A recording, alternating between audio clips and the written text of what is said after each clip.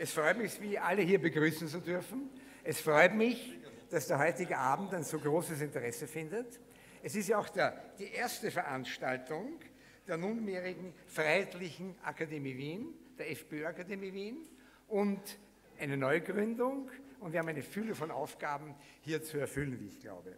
Äh, wir haben als Akademie äh, erstens mal Schulungsaufgaben. Wir stellen äh, zum Beispiel, natürlich werden wir zur Verfügung stellen, Schulungen und Informationen über das Wiener Rechtssystem für zum Beispiel Wohnen, für zum Beispiel Finanzen, Budgetfragen, äh, zum Beispiel die Mitglieder der Wohnungskommission. Das, wir werden aber natürlich dafür Sorge tragen, dass Abgeordnete zum Landtag, Abgeordnete Gemeinderat, Abgeordnete Bezirksvertretungen die ersten Ansprechpartner sind, sowie natürlich auch äh, Mitglieder von Bezirksleitungen und in diesem Sinne.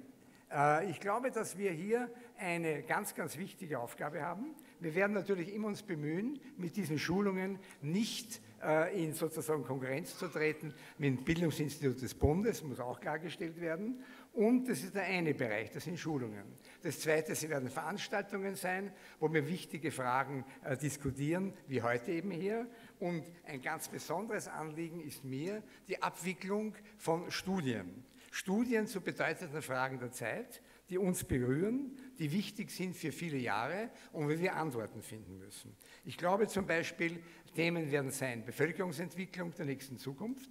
Wie schaut zum Beispiel die Zukunft der Demografie in Österreich, im deutschsprachigen Mitteleuropa unter der Zuwanderungswelle, wie sie begonnen hat, aus? Welche Ergebnisse werden sich im Laufe der Zeit einstellen? Wie schaut die, über, die Zukunft überhaupt eines deutschsprachigen Mitteleuropas im Sinne eines Ansturms, der offensichtlich sich abzeichnet, aus? Weiters natürlich ein wesentliches Thema, für mich persönlich ärgerlich, die Genderpolitik und auch wenn ich so sagen darf, ein gewisser Gender-Terror. Ich halte es für unverantwortlich, dass zum Beispiel äh, in Schulen und Universitäten und in äh, Instituten der Lehre zum Beispiel äh, Studien und Arbeiten abgelehnt werden, nicht aus inhaltlicher Natur, sondern weil das Gender-Thema nicht eingehalten wurde. Das halte ich für völlig un, möglich und für un, untragbar. Ähm, ich darf im Übrigen auch feststellen, dass das ein ganz weiter Bereich ist. Ich glaube, äh, ich bin auch dankbar für gewisse Vorschläge, wo wir hier Abhandlungen vornehmen können. Aber ich nehme an, dass wir hier ein weites Bereich haben, einen weiten Bereich haben, denn die Ausarbeitung von grundsätzlichen Erwägungen zu grundsätzlichen Themen sind etwas, wo wir sicherlich äh, ganz besonders äh, tätig sein werden. Das ist einmal ein Abriss dessen, was, was wir uns vorstellen für die Tätigkeit dieser Akademie Wiens. Und im Übrigen freut es mich, heute bei einem zum Beispiel bereits ganz, ganz wesentlichen Thema Sie alle begrüßen zu dürfen, bei der Frage Flucht vor dem Terror oder Einwanderung ins Sozialsystem. Das wird ein Thema sein, unter welchem Titel auch immer, das uns die nächsten Jahre und wahrscheinlich Jahrzehnte begleiten wird. Die Abwehr von solchen Anstürmen in ein Europa, das vielleicht als solches bedroht ist, wenn uns nicht gelingt, eine Antwort darauf zu finden. Und es freut mich, dass zu diesem ganz besonders wichtigen Thema begrüßt werden kann Dr. Amma Albayati. Er ist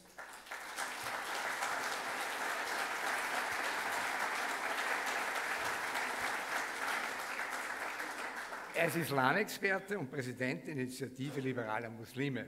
Es freut mich ganz besonders, dass ich begrüßen kann Frau Dr. Karin Kneißl, eine Expertin.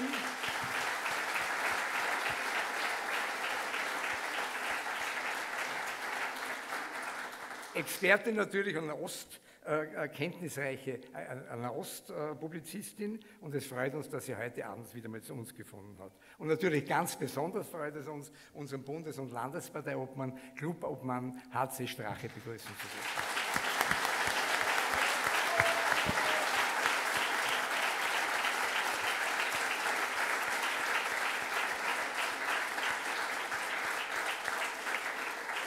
Der Jubel ist allgemein, umso mehr, als uns das größte äh, Ereignis seit 45 äh, Folge ist der letzten Wahl ins Haus geschneit hat. Die Hälfte der Bevölkerung hat bewusst einen freiheitlichen Kandidaten gewählt. Ich möchte unserem Bundesparteiobmann danken, aber möchte er ist heute nicht hier, unseren Gruß natürlich auch an Norbert Hofer übermitteln, der dieses wirkliche Ereignis zustande gebracht hat.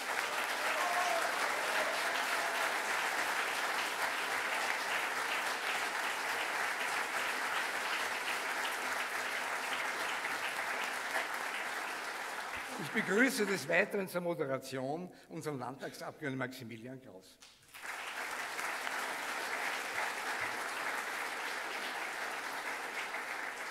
Jetzt habe ich die etwas schwierige Aufgabe, die zahlreichen Ehrengäste heute hier begrüßen zu dürfen, möchte aber trotzdem einzeln vorgehen. Ich halte es für wichtig, bei der ersten Veranstaltung so etwas zu tun. Ich darf einmal begrüßen unseren Vizebürgermeister Magister Johann Gudenus.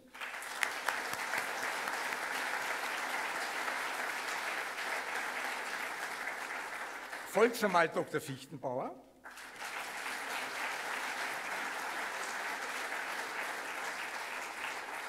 den Wiener Clubobmann Dominik Nepp,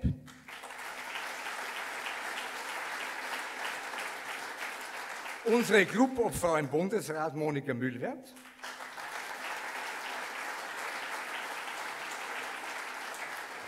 den Abgeordneten Dr. Andreas Karlsböck,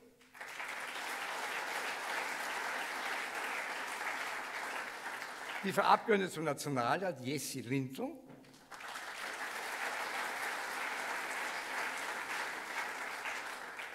Dann weiter Herrn Stadtrat David Lazar.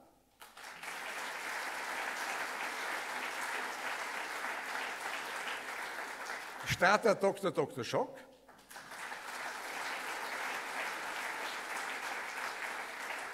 Stadtrat AD Walter Prinz.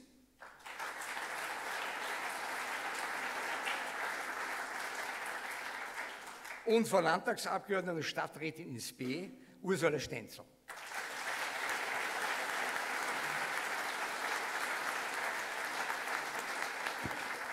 Ich darf des Weiteren, um das nicht weiter zu verzögern, eine große Zahl von Landtagsabgeordneten hier begrüßen.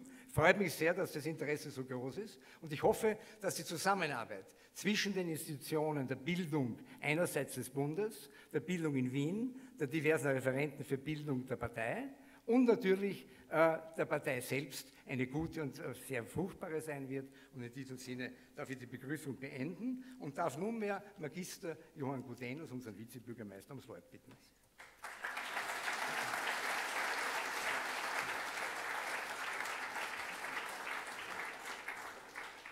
Danke sehr, lieber Präsident. Meine sehr geehrten Damen und Herren, liebe Freunde, darf Sie alle auch recht herzlich begrüßen zu dieser ersten Veranstaltung der Wiener Akademie der FPÖ. Man sieht, die Veranstaltung ist gut besucht. Drei Tage nach einem historischen Tag, der schon erwähnt wurde seitens des Präsidenten, keine Frage. 50 Prozent der Österreicher haben einen freiheitlichen Kandidaten gewählt, eine hervorragende Leistung. Und ich bin mir sicher, so manche hier würden auch gerne reden über Fairness in der Demokratie, über Wahlanfechtung, über das Briefwahlrecht an sich. Meine sehr geehrten Damen und Herren, wir werden in Zukunft noch genügend Möglichkeit dazu haben, auch im Rahmen der Freiheitlichen Akademie. Das sind alles wichtige Themen und diese Themen werden uns auch beschäftigen müssen. Überhaupt keine Frage.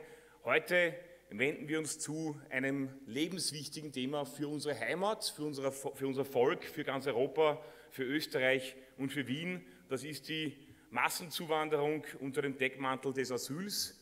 Hier steht Flucht vor dem Terror. Man hat oft den Eindruck, wann wird die Zeit kommen, wann wir vor dem Terror flüchten müssen.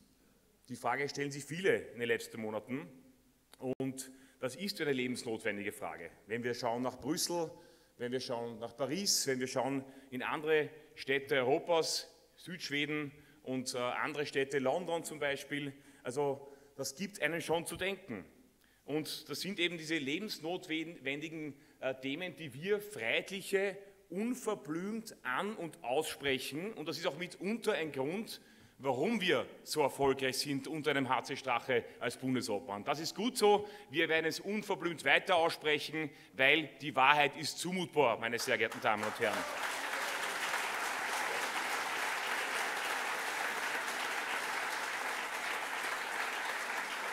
Und es gibt ja auch ein schönes Zitat äh, von Immanuel Kant, das ich gefunden habe. Kein größerer Schaden kann einer Nation zugefügt werden, als wenn man ihr den Nationalcharakter, die Eigenheiten ihres Geistes und ihre Sprache nimmt. Ja, Immanuel Kant hat vollkommen recht gehabt. Und genau mit diesen Problemen sind wir zurzeit konfrontiert. Europa und Österreich äh, sieht sich konfrontiert mit einer Art neuer Völkerwanderung. Es ist eine Völkerwanderung unter dem Deckmantel des Asyl. Eben nicht nur Krieg und Armut sind die Auslöser dieser Massenströme von meist außerhalb Europas. Es ist vor allem auch gewesen diese unverblümte Einladung seitens der EU. Eine Einladung seitens der Frau Merkel als sozusagen Vertreterin des stärksten Landes in der Europäischen Union. Auch eine Einladung des Herrn Feimann, der schon abgetreten ist, aber der Herr Kern wird, glaube ich, das Ganze nicht ändern, sondern fortführen. Aber auch vor allem eine Einladung der rot-grünen Stadtregierung, weil es hier eben auch steht, äh, Einwanderung ins Sozialsystem. Das ist eines der Hauptmotive, warum vor allem wahrscheinlich zwei Drittel dieser 90.000 Menschen, die letztes Jahr offiziell nach Österreich gekommen sind, im Endeffekt in Wien landen werden. Das ist das Hauptmotiv. Das Sozialsystem in Wien mit der Mindestsicherung, mit der Grundversorgung, mit all den Vereinen, die diese illegalen Zuwanderer verhätscheln. Und ich frage mich laufend, was ist eigentlich das Motiv dahinter? Was kann das Motiv dahinter sein, einer, einer Stadtregierung, aber auch einer Bundesregierung, so viele Menschen auf illegale Weise, von oben gedeckt, aber illegal, ins Land zu holen? Wo ist das wahre Motiv dahinter? Ich habe mich da versucht, irgendwie ja, schlau zu machen. Ist es der Finanzausgleich, damit Wien mehr Geld vom Bund bekommt? Deswegen sollen alle nach Wien kommen? Ich weiß es nicht. Ja, ich kann es mir nicht vorstellen. Ist es vielleicht die Tatsache, dass aufgrund des neuen Staatsbürgerschaftsrechts ein Asylwerber nach sechs Jahre langen äh, ununterbrochenen Aufenthalt in Österreich die Staatsbürgerschaft beantragen kann, ist das der Grund vielleicht und somit das Wahlrecht bekommt? Das scheint schon plausibler angesichts der Wahlergebnisse der FPÖ unter HC Strache und mit Norbert Hofer. Das scheint schon der plausiblere Grund zu sein, warum hier einfach ins rot-grüne Wien und vor allem hierher so viele Menschen gelockt werden und warum sich das System auch so brutal gegen jede Kritik wehrt, die man auch sachlich gegen diesen Umstand anbringt. Xenophobie, Islamophobie, Rassismus und so weiter, all das müssen wir uns anhören, nicht nur als Politiker, sondern auch als Bürger, als Wähler. Aber nein, liebe Freunde, wir sind keine Rassisten. Wir sind rechtschaffene Bürger, wir sind Realisten und wir nennen die Dinge bei Namen und vor allem, wir haben Sorge um unsere Heimat und das eint uns und macht uns stark, liebe Freunde.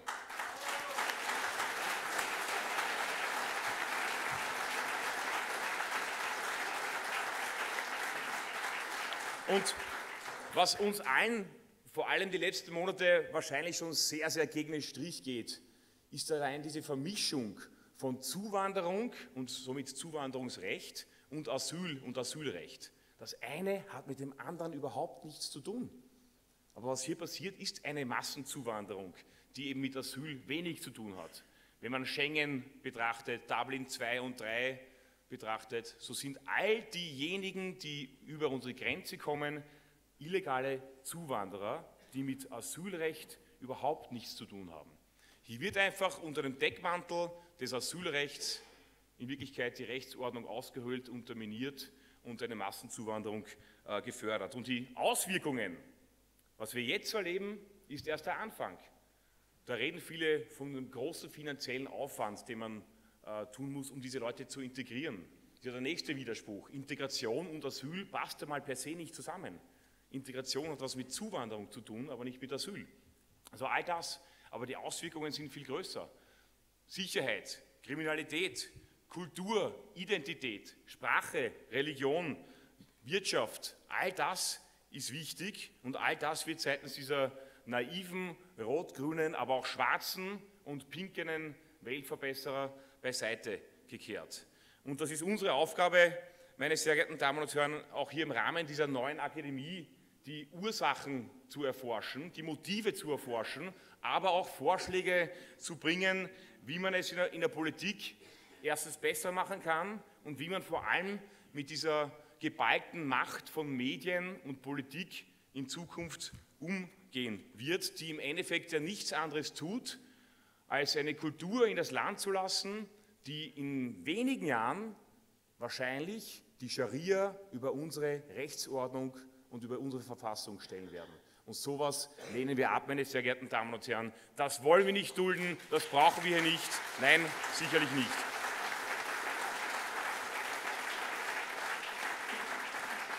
Aber ein letztes Motiv, das mir noch gekommen ist, äh, neben dieser Finanzausgleichsfrage, sprich die finanzielle Frage oder die Frage der Wählerstimmen.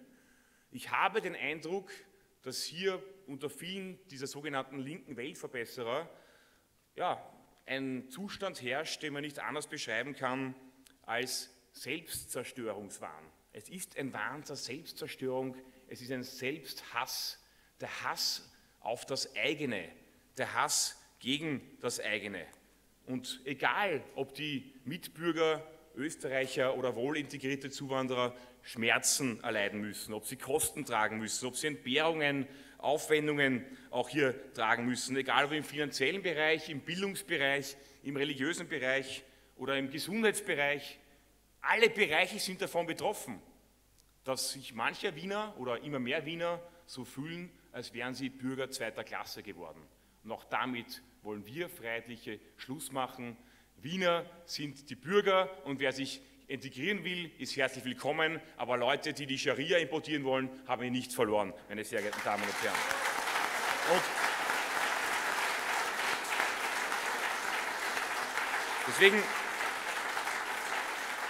auch eine klare Entscheidung unsererseits, und das wissen auch die Wähler, eine klare Entscheidung Ja zum eigenen, Ja zur eigenen Identität, es braucht natürlich Grenzen, es braucht Selbstachtung und es braucht auch ein gewisses großes Maß an Heimatliebe, wenn wir unsere Heimat für uns bewahren wollen. Deswegen treten wir ein gegen diese Selbstaufgabe, die wir nicht brauchen. Und ich darf abschließend zitieren einen ganz großen der äh, Weltliteratur, den Albert Camus, der gesagt hat, wer die Dinge beim falschen Namen nennt, trägt zum Unglück dieser Welt bei. Wir nennen die Dinge nicht beim falschen Namen. Wir sagen, illegale Zuwanderung ist illegale Zuwanderung. Wir sagen, Weltoffenheit ist in Wirklichkeit Selbstzerstörung. Natürlich, eine gewisse Art von Weltoffenheit ist notwendig. Das sind wir auch, aber nicht diese viel zitierte Weltoffenheit und falsche Toleranz dieser links-linken, rot-grünen Weltverbesserer. Auch das brauchen wir nicht, meine sehr geehrten Damen und Herren. In diesem Sinne freue ich mich auf eine schöne, fruchtreiche Diskussion und auf einen schönen, Abend im Rahmen der Freiheitlichen Akademie. Danke.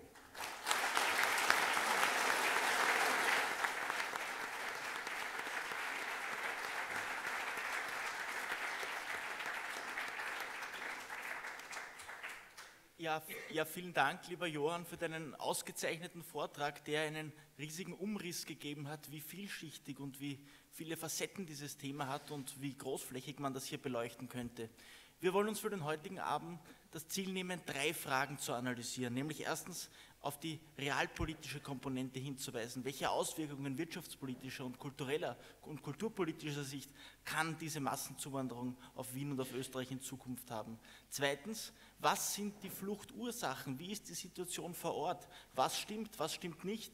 Wir hören immer sehr viel in den Medien. Wir wissen allerdings gleichzeitig, dass man natürlich auch das meiste davon nicht glauben kann. Und drittens, den Islam an sich beleuchten und die verschiedensten Aspekte auch in radikaler Hinsicht. Und ich glaube, dass wir dafür ein wirklich hochkarätiges äh, Podium gewinnen äh, konnten. Und ich freue mich, wenn der Herr Dr. Al-Bayati uns jetzt mit seinem Vortrag über den Islam und über seine Sicht auf gewisse äh, Strömungen äh, ein bisschen Licht ins Dunkel bringen kann, denn er hat ein Buch über den Islam geschrieben. Er hat es auf die Todesliste des IS geschafft mit seinen kritischen Publikationen und er ist auch der Chef der liberalen Muslime in Österreich. Herr Al-Bayati, vielen Dank, dass Sie hier sind.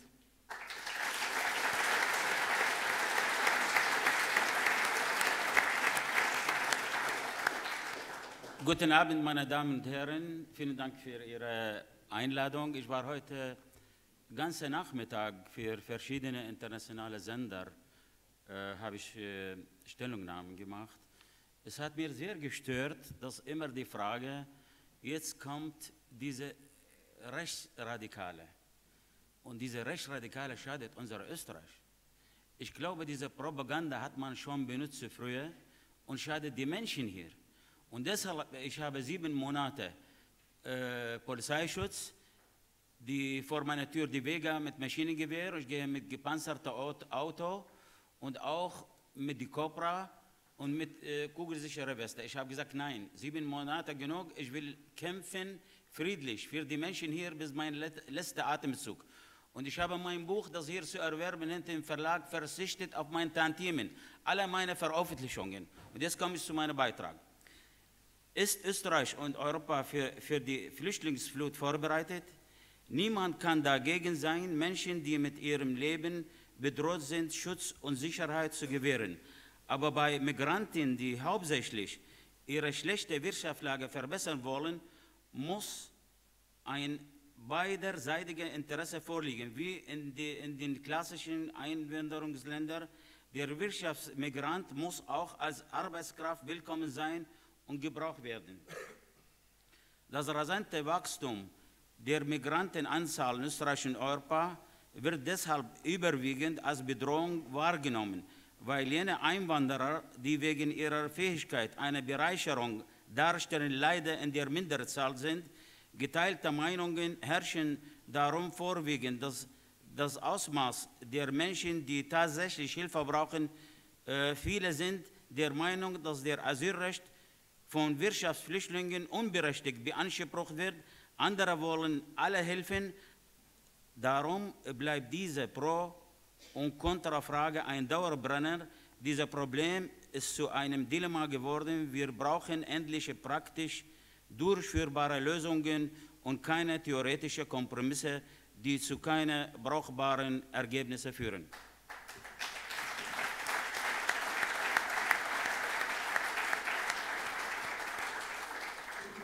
Österreich hat in diesem Bereich historisch gesehen eine große Rolle weltweit und in Europa gespielt. Diese Fragen beschäftigen die Menschen und sie erwarten von, die, von der Politik klare Haltungen. Leider ist daraus ein Politikum mit parteilichem Ka- Kalkül ohne Ende äh, geworden. Die politische Landschaft hat sich längst gewandelt, aber kaum eine politische Partei will dem Rechnung tragen. Das verursachte große Verluste durch die Ängste in der Wählerschaft. Trotzdem will das keiner begreifen, denn die Politiker können und wollen ihre Fehler nicht mehr korrigieren, aus Angst, dass sie sich deshalb aus der Politik verabschieden müssen. Die Schwierigkeiten häufen sich, aufgrund dessen müssen wir Probleme, Konflikte, ja sogar Bürgerkrieg Krieg, ähnliche Zustände erwarten. Wir haben gemerkt, die Terroristen und die Radikalen sind bei uns vor die Tür, weil Österreich und Europa sind auf solche Flüchtlingsflut nicht vorbereitet und können es auch gar nicht sein. Voraussetzung für die Integration von Migranten wäre es, dass Europas Jugend erst einmal selber Arbeit findet, was nur durch Stärkung verteilter Zentren erreichbar erscheint. Warum verlässt man seine Heimat, investiert viel Geld? Ich habe Leute, Taxifahrer haben gesagt, mit Packel 500.000. Ich habe gesagt, geht zur Bank vielleicht falsch. Ich habe nur im Fernsehen 5.000 gesehen. Muss ich ehrlich sagen, ja? Warum verlässt man seine Heimat, investiert viel Geld, kommt alleine und ohne seine Familie nach Österreich und Europa? Fragen bleiben aufgrund der Willkommen, Willk- Willkommen, Willkommenskultur ohne Antwort.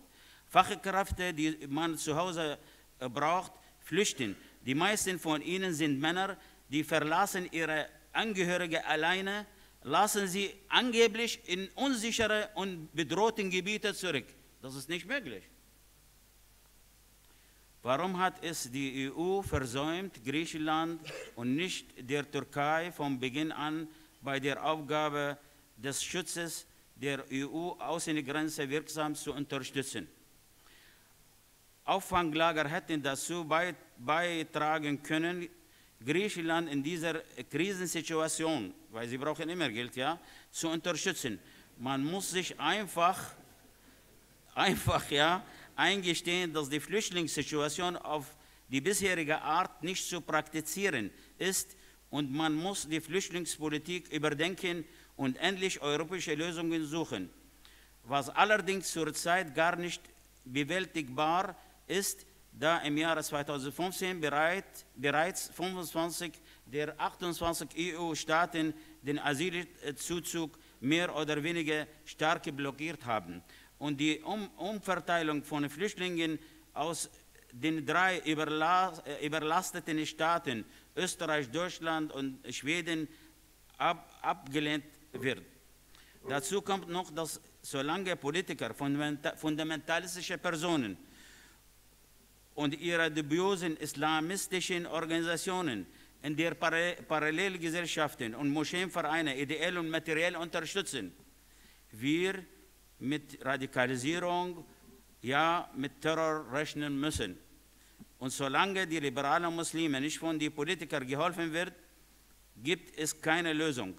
Man verwundert sich, dass diese Parteien Wahlen verlieren und vergisst, dass sie neben anderen Problemen jahrelang den radikalen Islamisten und ihren extremistischen Organisationen uneingeschränkt geholfen haben. Und wenn jetzt auch noch nichts ändern, werden sie zweifellos weiter verlieren. Denn die Menschen merken die vielen von den radikalen Islamisten verursachten Missstände klar und deutlich. Islamische Kindergarten, andere Sachen. Wir kommen in die zweite Runde dann. Die Lage ist also sehr ernst. Wir dürfen nicht in Lager denken, Österreich braucht Lösungen und darf weder Zeit noch Geld verschwenden. Spätestens seit den massiven Sexübergriffen auf Frauen in, in, in, der, in, in den Silvesternacht in Köln wächst der Unmut über aktuelle Integrationspolitik in Österreich und Europa. Es ist ein Gebot der Stunde, dem politisch motivierten Islam mit aller Entschlossenheit entgegenzutreten. Es braucht in Österreich ein gesetzliches Verbot jener Organisationen, die den Boden für Extremismus erst, erst aufbereiten, konkret ein Verbot der Muslimbruderschaft. Und ihre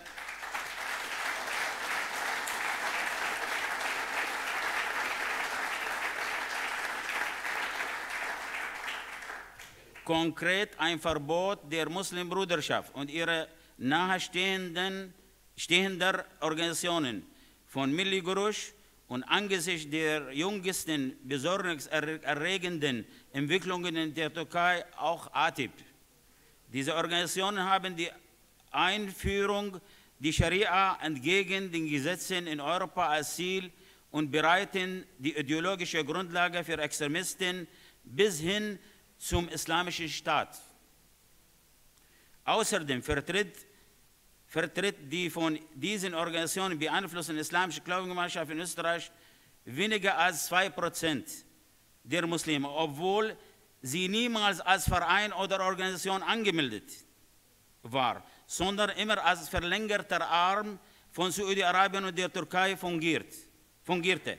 Das verunglückte Islamgesetz als Resultat dieser Lobbyarbeit ist ein historischer Fehler.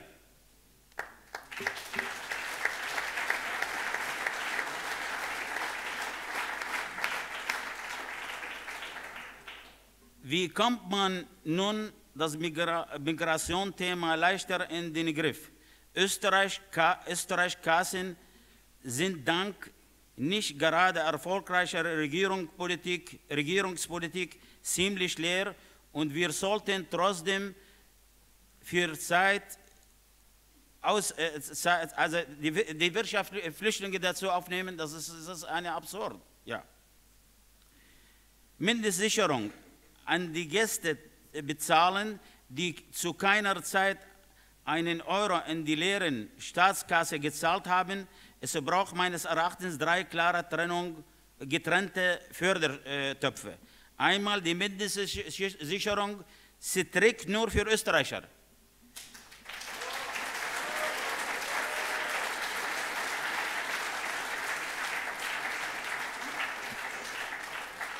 Einmal die Mindestsicherung, sie trägt nur für Österreicher.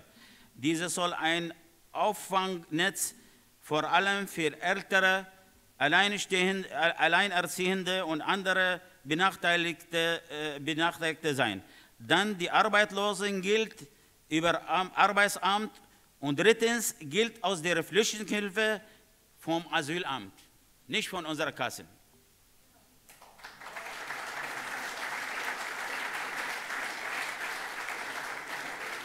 Das bisher praktizierende Mischen der Fördertöpfe ist zutiefst unfair gegenüber den Österreichern. Aber denke, man muss die, Lang die, die, die Lage ganz einfach realistisch sehen endlich. Was die beiden Regierungsparteien allen, alles in ihrer Kreativität unter, unternehmen, um die Zukunft überall abgewählt zu werden, ist, sehe nirgendwo ein Leuchtfeuer, dass es besser werden könnte in der Zukunft. Letztlich nimmt man mutwillig die Zerstörung der einheimischen Gesellschaft durch ungezügelte Zuwanderung inklusive islamistischer Verbrecher in Kauf, Terroristen und so weiter und Radikale, weil man dann auf die, den Trümmer der europäischen Kultur linksideologische Strukturen mit äh, multikultureller Nivellierung einrichten kann. Das ist der falsche Weg. Der richtige Weg, der richtige Weg ist, denen die Heimat zu bewahren, die in dieser geboren sind oder hierher gekommen sind, um die kulturellen Werte annehmen, äh, Österreich zu werden. Ja, diese Menschen gibt es ebenso, aber äh, die setzen sich nicht in die Szene, in, in Szene, gehen ihrer Arbeit nach, arbeiten nicht als Mindestsicherung und sind zufrieden, hier zu sein zu dürfen. Oder hat man etwa jemals etwas darüber gehört, dass etwa Menschen aus dem für, äh, für, für, früheren Jugoslawien, die in, in noch deutlicher Größe Anzahl als die Muslime nach Österreich kamen, lautstark politische Forderungen gestellt haben oder stellen? Leider hat man bei manchen politischen Vertretern manchmal das Gefühl, sie sind geistig nicht mehr in der Lage zu bemerken,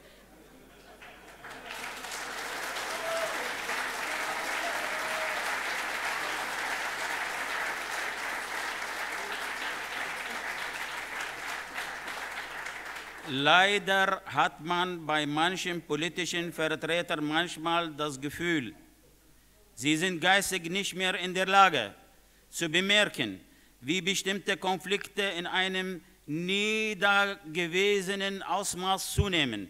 Da hilft es auch nicht, wenn sich manche Wahlen vor den Augen haben, plötzlich dann doch für Nulltoleranz gegenüber Gewalt und Sexualverbrechern aussprechen und dann doch die Politik der Willkommenskultur undifferenziert weiter zu verfolgen.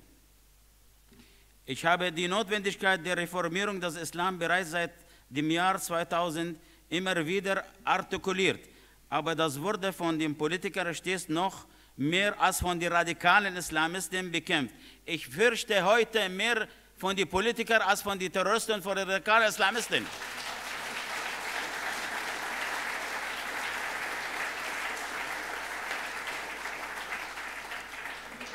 Ich habe auch oft vor allen anderen gewarnt, dass die Flüchtlingsstrom auch Touristen nach Europa kamen. Keiner hat geglaubt. Ich habe eine Woche vor Paris gewarnt. Sie können lesen im Internet. Und unmittelbar vor die Anschläge in Brüssel, auch vor die Racheakten nach den, der Festnahme der Terroristin Abdessalam, leider hört die Politik nach wie vor eher die Verharmloser auf jene, die Situationen korrekt analysieren. Die Hintergründe dieser Thematik sind in meinem aktuellen Buch, ich habe wie gesagt auf meinen Gewinn verzichtet, das Buch von dem Verlag direkt zu erwerben. Es kommt die Übersetzung und gibt aktuelle auch eine äh, neue, neue Auflage Herbst oder Anfang nächstes Jahr. Also die Hintergründe dieser Thematik sind in meinem aktuellen Buch auf der Todesliste des äh, ES, weil ich habe 15 Morddrohungen, aber ich habe nach 17, 17 sieben Monaten mit, äh, mit äh, kugelsicherer Weste und Maschinengewehr und gepanzerte Auto mit die Cobra, dank, dankbarerweise das Innenministerium. Ich habe gesagt, ich werde sterben im Sinne Österreich und die Menschen hier. Danke.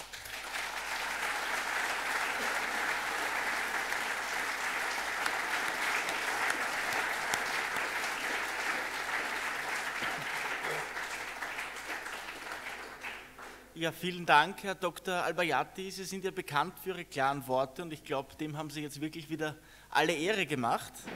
Aber es stimmt natürlich vieles, was Sie sagen und ich glaube, Sie rennen bei uns auch wirklich offene Türen ein, wenn Sie sagen, dass beim Islamgesetz viel falsch gelaufen ist, dass im Bereich der Miligörosch-Bewegung und der Muslimbruderschaft es endlich zu einem Verbot kommen müsste und hier noch immer große Untätigkeit herrscht.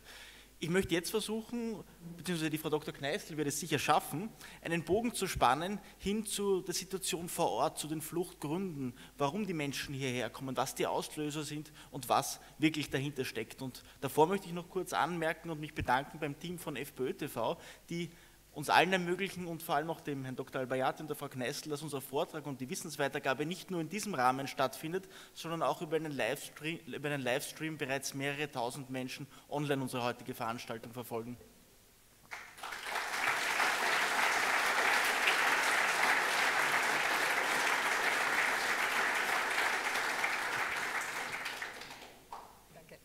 Vielen Dank, Herr Abgeordneter Kraus. Ich darf den Dank gleich anschließen, auch für die sympathische Zusammenarbeit im Vorfeld der Vorbereitung. Vielen Dank für die sehr zügige Korrespondenz.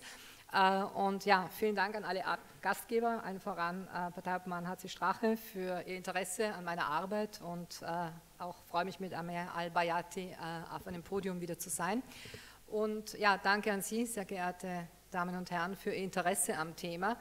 Und äh, ich würde eben, ich hoffe, ich entspreche da Ihren Erwartungen, aber ich werde eben diesen Bogen zu spannen versuchen und werde anfangen bei der größten Gruppe derer, die sich eben gegenwärtig unter Asylwerbern wandern, den, den, Migranten befinden äh, und finde die Titelwahl auch sehr äh, ähm, eben treffend. Es geht nämlich weniger um Flucht vor Krieg als Flucht vor Terror.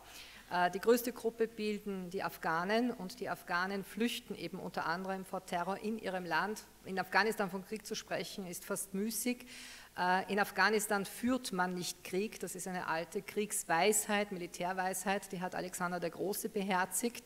Äh, aber die haben, die, für die haben die Briten, weil sie sie nicht beherzigten, im 19. Jahrhundert zweimal einen sehr hohen Blutzoll bezahlt und hätten die USA also vor dem Abenteuer im Oktober 2001, Antwort auf 9-11, wobei ich immer wieder gerne hinzufüge, es war keiner der Attentäter von 9-11 ein Afghane, es war kein Iraner, es war kein Iraker drunter. 15 der 19 Attentäter hatten eine saudische Staatsbürgerschaft. Und ich werde nachher dann auch noch kurz auf Saudi-Arabien eingehen, weil auch dort im Zuge von politischen Verwerfungen natürlich Fluchtbewegungen drohen können. Aber äh, Kriege führt man nicht in drei Ländern, das ist ein alter nahöstlicher Spruch. Dazu gehören Afghanistan, Kurdistan und Jemen. Äh, und in allen dreien wird gegenwärtig Krieg oder Terror geführt. Afghanistan, wie gesagt, muss man sagen, seit 1979, dann neu eben angefacht mit der Operation von 2001, die gescheitert ist. Äh, und äh, wir haben eben einen Krieg auch im Jemen, den Saudi-Arabien vom Zaun gebrochen hat. Wir haben einen Krieg neuerlich in Kurdistan, den eben Präsident Erdogan im letzten Herbst neu losgetreten hat zu Afghanistan und zu den dortigen Fluchtbewegungen. Äh, der Iran beherbergt seit den 80er Jahren, äh, also bis heute, drei Millionen afghanische Flüchtlinge. Und bei äh, der Bezeichnung afghanische, also afghanische Staatsbürgerschaft muss man natürlich auch insofern vorsichtig sein, weil den Afghanen, wenn man das so etwas ironisch sagen darf, gibt es nicht außer im Rauschgift. Es gibt eben die verschiedensten Ethnien, äh, es gibt Pashtunen, Usbeken und so weiter. Sie kennen sie vielleicht aus der Berichterstattung. Äh, und äh, die, bei den Fluchtbewegungen der letzten Jahre, Afghanen sind vermehrt natürlich dann im Herbst zugezogen. Es hat sich im im Zuge der Ankündigungen vom 4. September der Bundeskanzlerin Merkel, dass äh, Afghanen, Iraker und Syrer von Dublin III ausgenommen werden. Das heißt, sie würden nicht zurückgeschickt werden in das Schengen-Land, das sie als erstes betreten hätten auf ihrer Reise nach Europa. Da sind natürlich auch vermehrt äh, Pässe ausgestellt worden in Kabul im Innenministerium. Es wurden damals 5.000 bis 8.000 Pässe, elektronische Pässe täglich ausgestellt für Menschen, die nie in ihrem Leben zuvor gedacht hätten, aus Afghanistan selbst auszuwandern aber wir haben eben auch Millionen Afghanen, die als teilweise, nicht, es gilt nicht für eine Mehrheit, aber es gilt für eine gewisse Gruppe, als anerkannte Konventionsflüchtlinge, also im Sinne der UN-Flüchtlingskonvention von 1951, im Iran leben, aber die sich natürlich auch gesagt haben, angesichts dieses man nennt es Pull-Faktor, also der Ankündigung, äh, man würde in Europa gebraucht werden, es würde eine Versorgung geben, losgezogen sind. Äh, und ich würde sagen, es sind wahrscheinlich auch viele junge Menschen, gerade aus Usbekistan, aus Tadschikistan, alles Staaten, wo es nicht ganz einfach ist, wirtschaftlich, aber vielleicht auch gesellschaftlich zu überleben, die sich eben anschlossen und dann eben mit dem Argument, sie wären Afghanen, was auch nicht immer der Fall ist, eben mitgezogen. Ähm, ich war selbst vor vier Wochen wieder im Iran und habe mit einigen Konsularbeamten auch gesprochen, die mir gesagt haben, es sind viele Afghanen aus dem Iran aufgebrochen. Also auf diese trifft nicht die Flucht vor dem Terror oder die Flucht vor dem Kriege zu. Äh, sie sind schon seit Jahren, teilweise seit ein, zwei Generationen in einem äh, UN-technisch gesprochenen sicheren Aufnahmeland.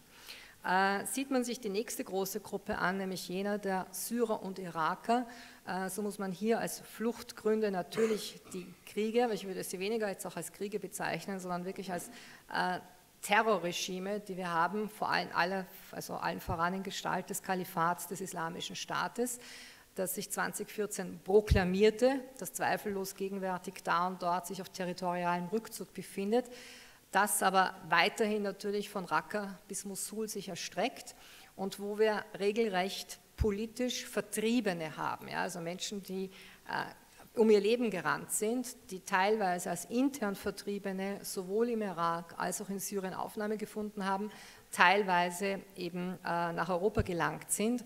Gerade diese politisch Vertriebenen sind aber nachvollziehbar äh, wütend, wenn äh, sie merken müssen, dass in den Aufnahmelagern, in den Aufnahmeländern Personen zum Beispiel sich als Syrer und Iraker ausgeben, die das nicht sind oder die aus relativ sicheren äh, Zonen dieser Staaten stammen. Also hier auch nur zur Erklärung, gegenwärtig begeben sich, eine Aussage der Bundeskanzlerin Merkel in einem ARD-Interview vor ein paar Wochen, statistisch betrachtet 3000 Iraker wieder zurück in den Irak. Sie kommen aus relativ sicheren Teilen des Iraks, äh, im, im, eben in dem Fall vielleicht aus Erbil oder aus Suleimaniya. Äh, Rückkehrgründe sind zahlreich, man hat sich das anders vorgestellt und es sind teilweise auch sehr banale Gründe, aber man darf sich die Kriegszone Syrien oder Irak nicht so vorstellen, wie, sage ich jetzt einmal, äh, Mitteleuropa im Frühjahr 1945, wo wir einen totalen Krieg hatten, äh, sondern es gibt immer wieder Gebiete, wo man in irgendeiner Weise den Alltag versucht aufzu, äh, aufrechtzuerhalten.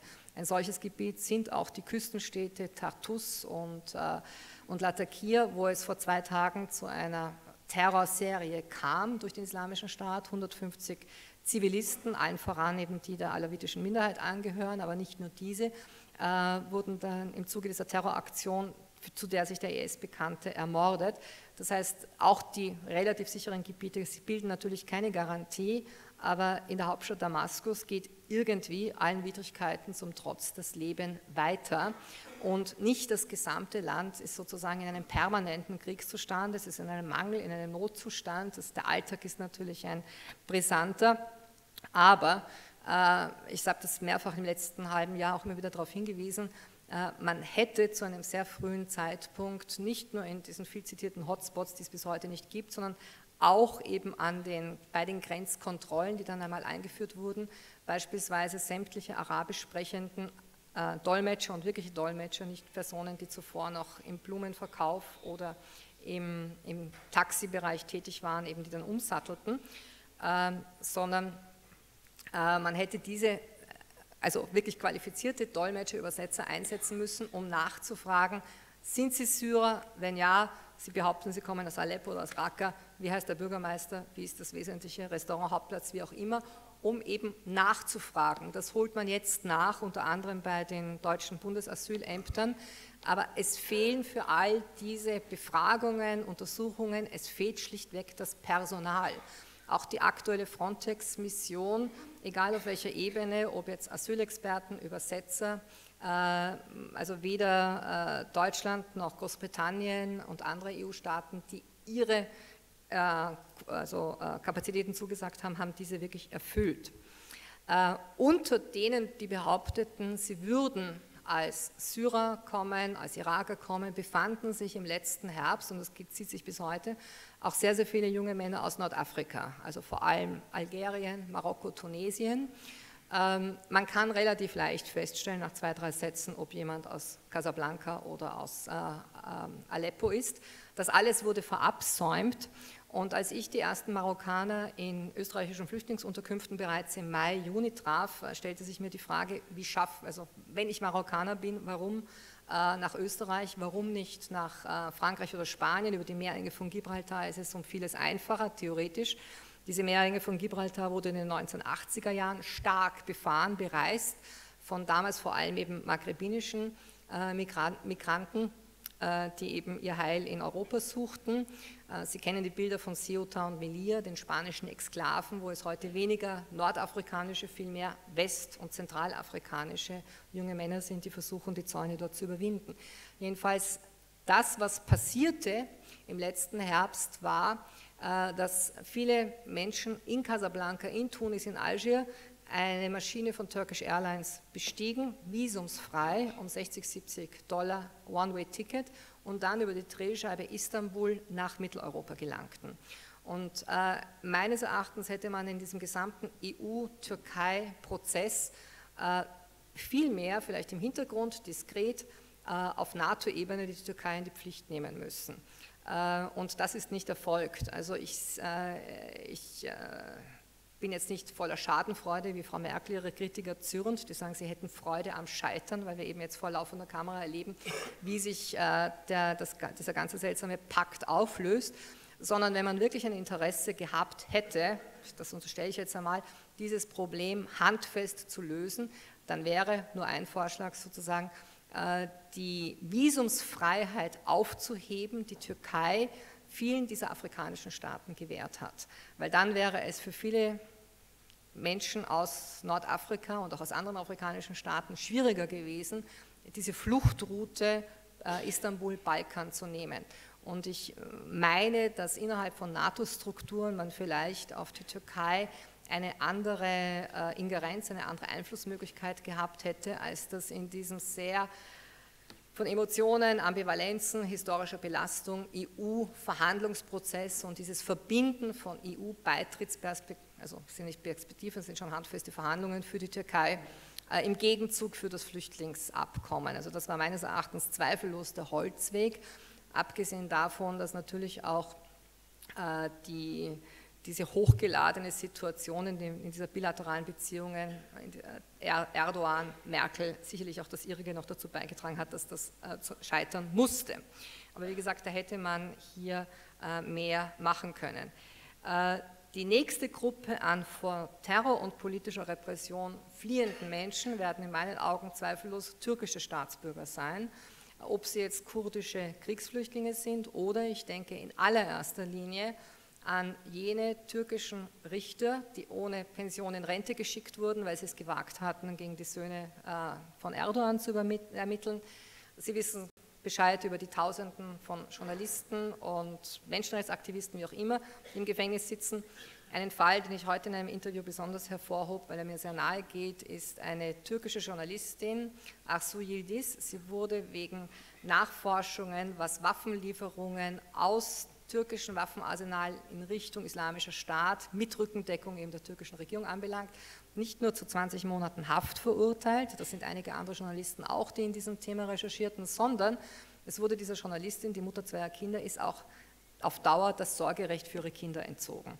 Also sie haben hier eine völlig neue Qualität der Bestrafung äh, politisch unliebsamer Menschen und Kritiker. Und ähm, es ist also, wenn, wenn, es noch eines weiteren äh, Beweises bedürfte, es ist das zweifellos der Verrat, der Ausverkauf all dessen, was man immer wieder gerne eben als ähm, die europäischen Werte hervorhebt. Und dieser Kniefall, der es ja nun wirklich ist, fürchte ich, wird, wird böse enden.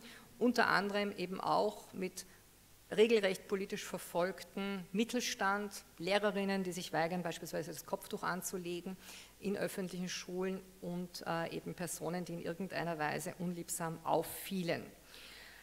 Ähm, der Terror, vor dem die Menschen fliehen, ist natürlich auch der Terror unter anderem eben durch äh, eine, eine Alltagssituation, die sich heute in, in, in Staaten wie Algerien, ähm, Ägypten, Libyen und so weiter ergibt, ganz besonders natürlich Libyen. Äh, der IS, dort wo er sich zurückzieht in Syrien und im Irak, wächst gegenwärtig in, äh, auf der Halbinsel Sinai, wächst in Libyen und äh, das Kalifat des Islamischen Staates ist nicht vom Himmel gefallen, es ist das unmittelbare Ergebnis des Irakkrieges von 2003. Und ich erinnere mich an eine Debatte mit äh, Bundespräsident van der Bellen, äh, wo er diese äh, Interventionen eigentlich befürwortete. Also wir führten diese Debatte 2002, 2003. Und da, oder ich darf eigentlich noch nicht richtig Bundespräsident sein, weil angelogen ist erst am 8. Juli, aber pardon, das war jetzt ein Fehler meinerseits, aber eben mit dem äh, mit Van der Bellen, der eben diese, diese Aktion äh, damals befürwortete. Ähm, neben der, dieser, diesen politisch äh, äh motivierten Fluchtgründen haben wir natürlich einen wesentlichen Faktor, der die Wirtschaftsmigration mitbedingt, das ist die Demografie. Das ist die Tatsache, dass sich die Bevölkerung in den 22 Staaten Nordafrikas und des Nahen Ostens zwischen 1985 und dem Jahr 2000 verdoppelt hat. Äh, sie müssten in der gesamten Region bis zum Jahr 2020 rund 100 Millionen Arbeitsplätze schaffen, um all die Menschen, die heute auf den Arbeitsmarkt drängen, auf diesem unterzubringen. Das heißt, selbst bei einer Stabilisierung Syriens, und ich hege hier eine gewisse Zuversicht, dass es zu einer solchen kommen wird, äh, selbst bei einer ähm, äh, Verkleinerung des Kalifats des Islamischen Staates da und dort, es wird zu weiteren Fluchtbewegungen kommen, zu einer Wirtschaftsmigration, äh, wobei natürlich die Erwartungshaltung jener, die sagen, wir haben in Marokko heute 20 Prozent Jugendarbeitslosigkeit, ihnen offenbar nicht bewusst ist, dass wir in Spanien 50 Prozent Jugendarbeitslosigkeit haben, in Frankreich 35 etc. Also es ist der, das Momentum der Demografie ist jetzt etwas ganz, ganz Entscheidendes und äh, das bewegt natürlich auch äh, die Migration, die aus Westafrika im Laufe der nächsten Jahre sich natürlich äh, vergrößern wird. Äh, die OECD hat das Meinungsforschungsinstitut Gallup äh, mit einer Serie von Meinungsumfragen seit 2007 beauftragt es ist zum Ergebnis gekommen, also aufgrund dieser mehrfach geführten Nachinterviews, rund die Hälfte der nigerianischen Bevölkerung, der 15- bis 30-Jährigen, möchte nach Europa auswandern. Äh, und da fallen immer wieder vier Namen von Staaten. Es geht um Großbritannien, es geht um Deutschland, das eine oder andere äh, skandinavische Land, Italien. Dasselbe gilt bei Befragungen in Richtung Sierra Leone, Côte d'Ivoire und so weiter. Hinzu kommt natürlich das Momentum äh, der Verödung landwirtschaftlicher Flächen, äh, Stichwort eben Klimawandel, das besonders das Horn von Afrika trifft. Also die aktuelle Hungerkrise, Landwirtschaftskrise, die sich in Äthiopien abzeichnet, ist wieder einmal eine Kombination aus Misswirtschaft, aus äh, Klimawetterextremen und so weiter. Aus einem Land wie Somalia haben wir eine sehr, sehr hohe Zahl, ebenso wie Eritrea, beiden Staaten geht es um, um äh, eben äh, massive Repression, haben wir starke Fluchtbewegungen. Groteskerweise flüchten aber beispielsweise Jemeniten, die vor der saudischen Bombardierung oder dem saudischen Terror in dem Fall fliehen. Sie, sie haben keine andere Wahl gegenwärtig, als nach Somalia zu fliehen. Ja. Also hier sind Fluchtbewegungen innerhalb des, äh, der Region des Roten Meeres im, im Gange, die uns hier noch gar nicht erreicht haben. Äh, so viel zu den diversen Fluchtgründen, die ich, wie in Ihrem Titel beschrieben, auch vielmehr eben unter Terror als unter Krieg subsumieren würde, plus natürlich der vorhin in den, von den Vorrednern bereits genannten wirtschaftlichen Gründe, der demografischen Gründe, die andauern werden. Ähm, ich werde dann in einem zweiten Teil eben auf die äh, Problematik der Aufnahmeländer, des des eben Auswanderns, Aussuchens in bestimmte Wohlfahrtssysteme eingehen und das wird dann im zweiten Teil der Fall sein. Vielen Dank.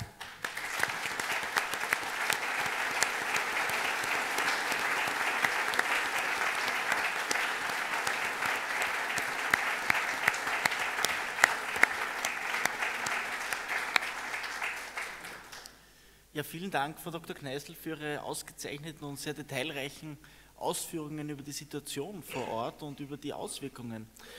Ich glaube, dass es jetzt besonders interessant wäre, an der Stelle auch einmal die Fragen zu beleuchten, die sich politisch auftun, nämlich welche Interessen auch dahinter stehen könnten. mit der Türkei solche Pakte zu schließen, die ja offensichtlich keine Vorteile für die Völker Europas haben. Und ich freue mich deswegen ganz besonders, dass unser Bundesparteiobmann noch heute da ist und darf ihn um seine Ausführung bitten. Okay.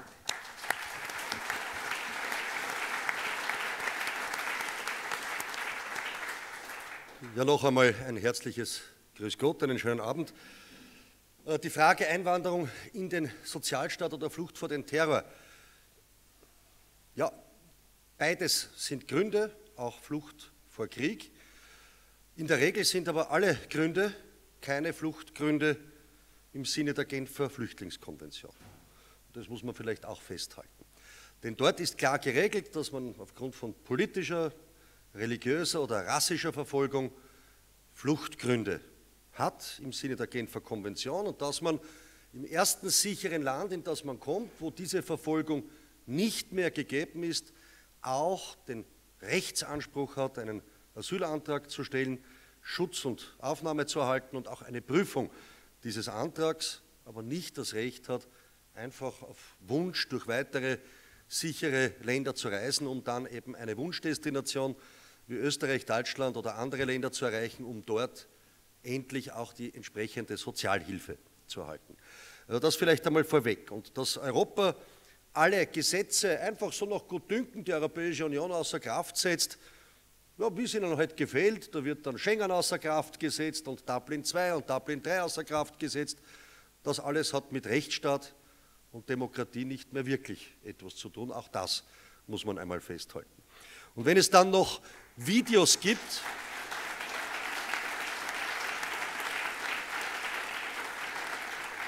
wo das deutsche Bundesasylamt im Jahr 2014, wenn ich mich nicht irre, in über zehn Sprachen im Sinne einer völlig unverantwortlichen, aber gezielt gesteuerten Einladungs- und Willkommenspolitik Menschen aus aller Welt einlädt, die sich verbessern wollen, Richtung Deutschland aufzubrechen, dann ist das gemeingefährlich und fahrlässig gewesen und hat einen politischen Ursprung in Deutschland und bei der deutschen Politik. Und ich sage, da gibt es eine gesteuerte, unverantwortliche Einladungs- und Willkommenskulturpolitik, die von europäischen Politikern ausgegangen ist, die aber natürlich auch von NGOs befeiert und unterstützt wird, weil da hat man dann wieder auch den Selbsterhaltungserklärungs, die Selbsterhaltungserklärungsmöglichkeit, denn die brauchen ja alle Vereine, die brauchen Subventionen, die brauchen Geld für die Betreuung, die dann anfällt und damit finanzieren sie sich natürlich auch.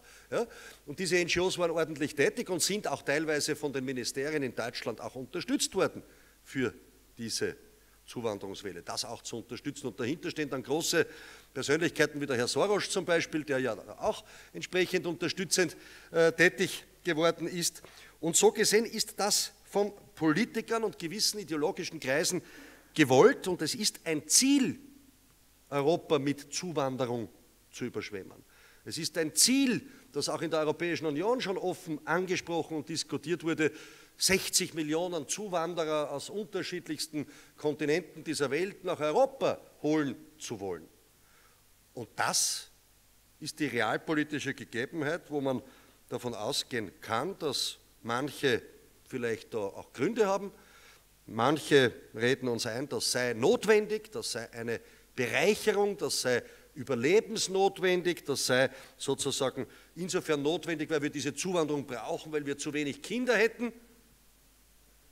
Manche meinen, dahinter steckt eine gezielte Destabilisierung und manche meinen, dahinter steckt fast schon ein gezielter Selbstmord, ein Suizid Europas. Und ich sage da ist schon von allem ein bisschen was dabei.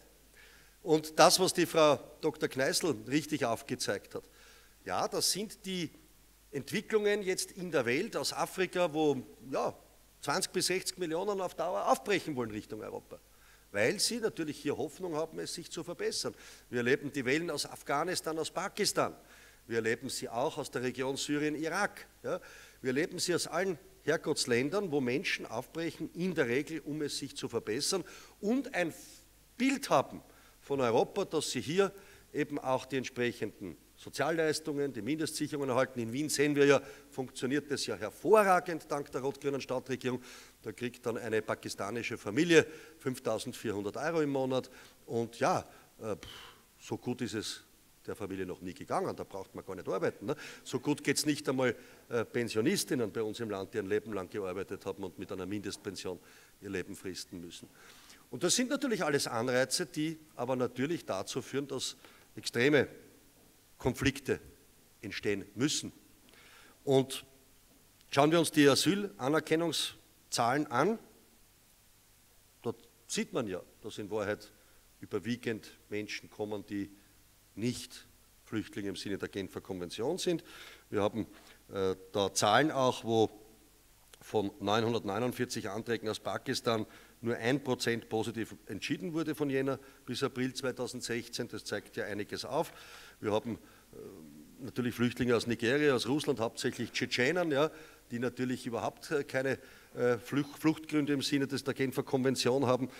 Wir haben äh, außer bei Syrien, da gibt es einen hohen Anteil an äh, positiven Bescheiden, das muss man auch festhalten, obwohl das eigentlich subsidiär Schutzberechtigte sind, die sollten dann, wenn der Konflikt beendet sein sollte, wenn es wieder vor Ort auch Frieden gibt, dann wieder ins Land zurückgehen. Da haben wir auch Gespräche mit dem syrischen Botschafter in Wien geführt, der da uns händeringend sogar darum gebeten hat, dass man jeden Einzelnen auch wieder im Land benötigt und braucht, um das Land in Folge aufbauen zu können.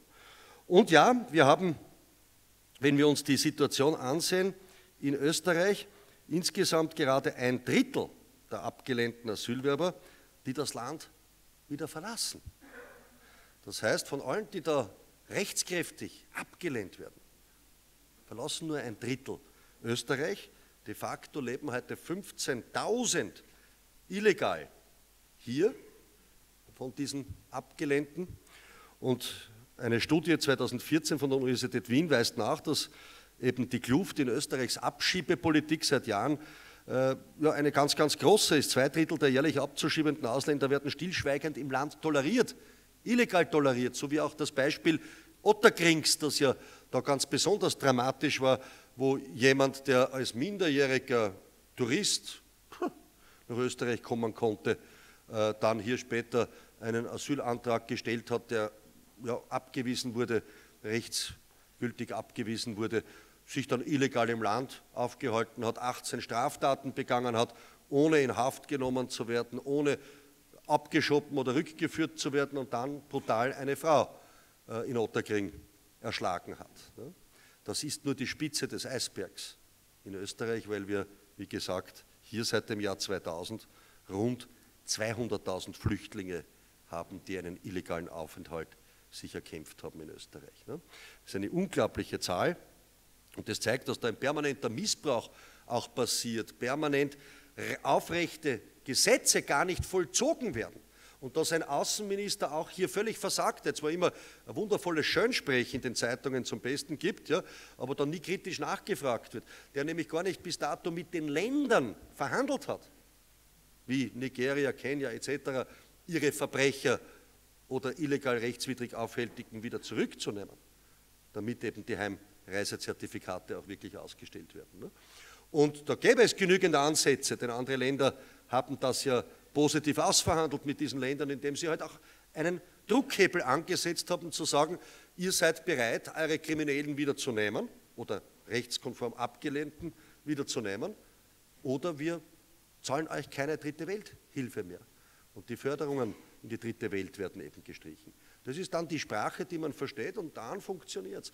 Und natürlich müssen wir darüber nachdenken, welches Signal senden wir aus. Bis dato ist das Signal ausgesendet von Seiten der Europäischen Unionspolitiker. Tja, jeder, der es schafft, europäischen Boden mit seinen Füßen zu betreten, der kann hier bleiben. Der wird aufgeteilt. Der wird nicht zurückgebracht. Und ähnlich ist auch die gesamte Entwicklung der Frontex ausgerichtet, wo man immer sagt, wir haben da eine tolle EU-Frontex, die da auf hoher See äh, sozusagen Europa schützt und wenn dann Menschen von Afrika aufbrechen mit Schiffen, die dann aufgehalten werden. Ja, die werden aufgehalten, nur der Befehl lautet, zu Recht die Menschen in Sicherheit zu bringen, aber dann lautet der Befehl, die Menschen nicht zurück zu den afrikanischen Häfen zu bringen, wo sie ausgelaufen sind, sondern nach Europa. Und das zeigt ja auf, welche fehlerhafte Politik es da gibt.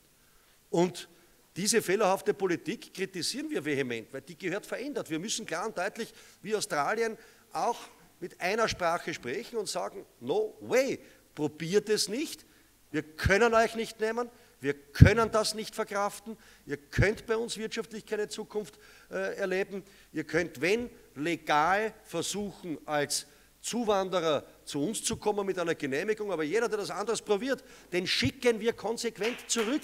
Das ist die einzige Möglichkeit, die es hier gibt.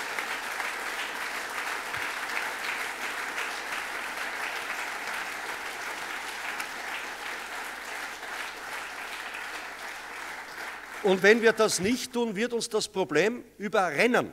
Und es wird jetzt Richtung Sommer wieder losgehen halt mit neuen Routen.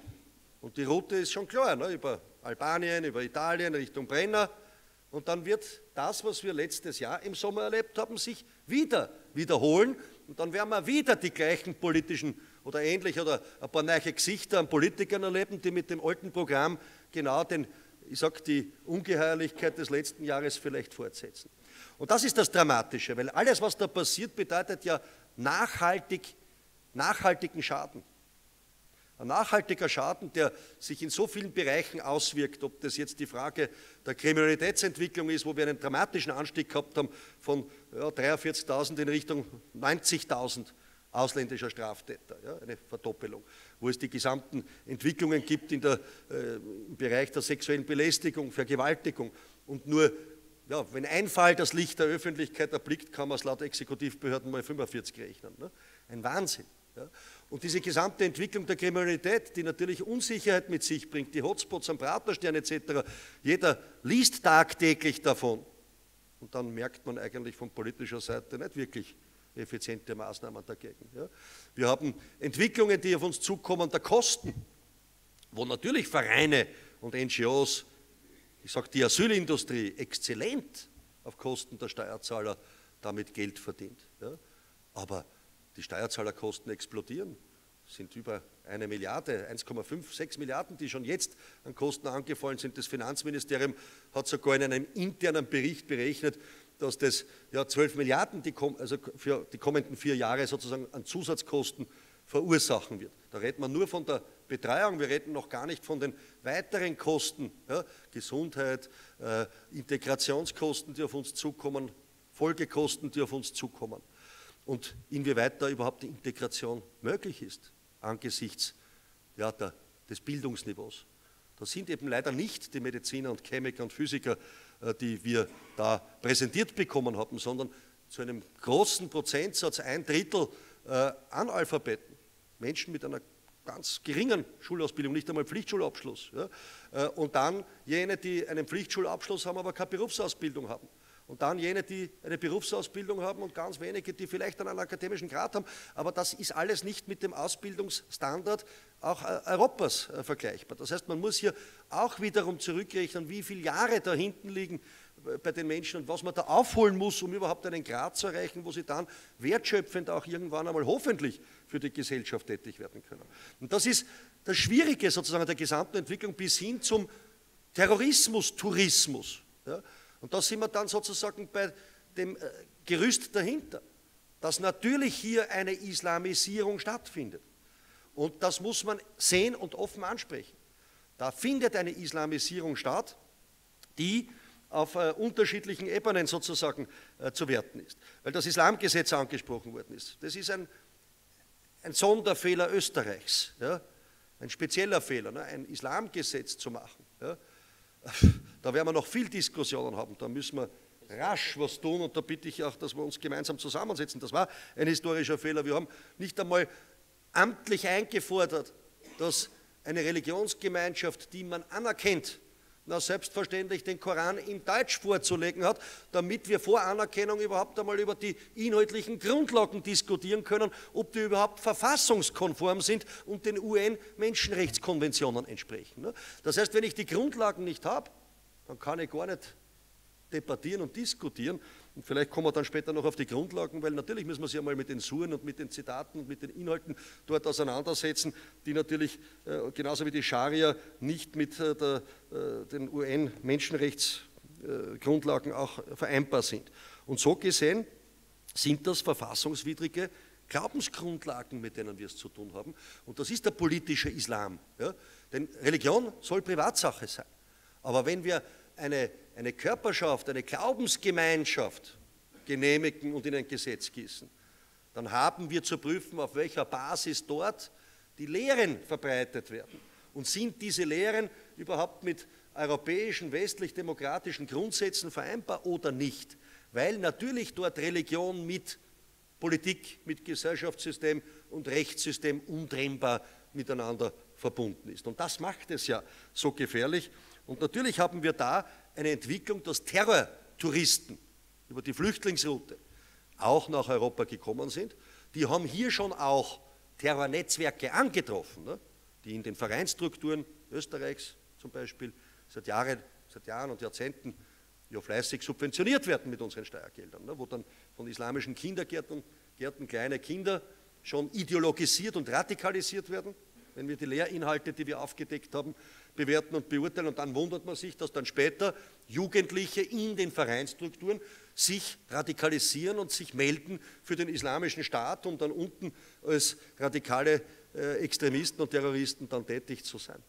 Und zwei der Terroristen, die als über die Flüchtlingsroute gekommen sind, zwei der Terroristen von Paris, haben sich ja auch mit den guten radikal-islamistischen Vereinsstrukturen in Österreich getroffen, nachweislich.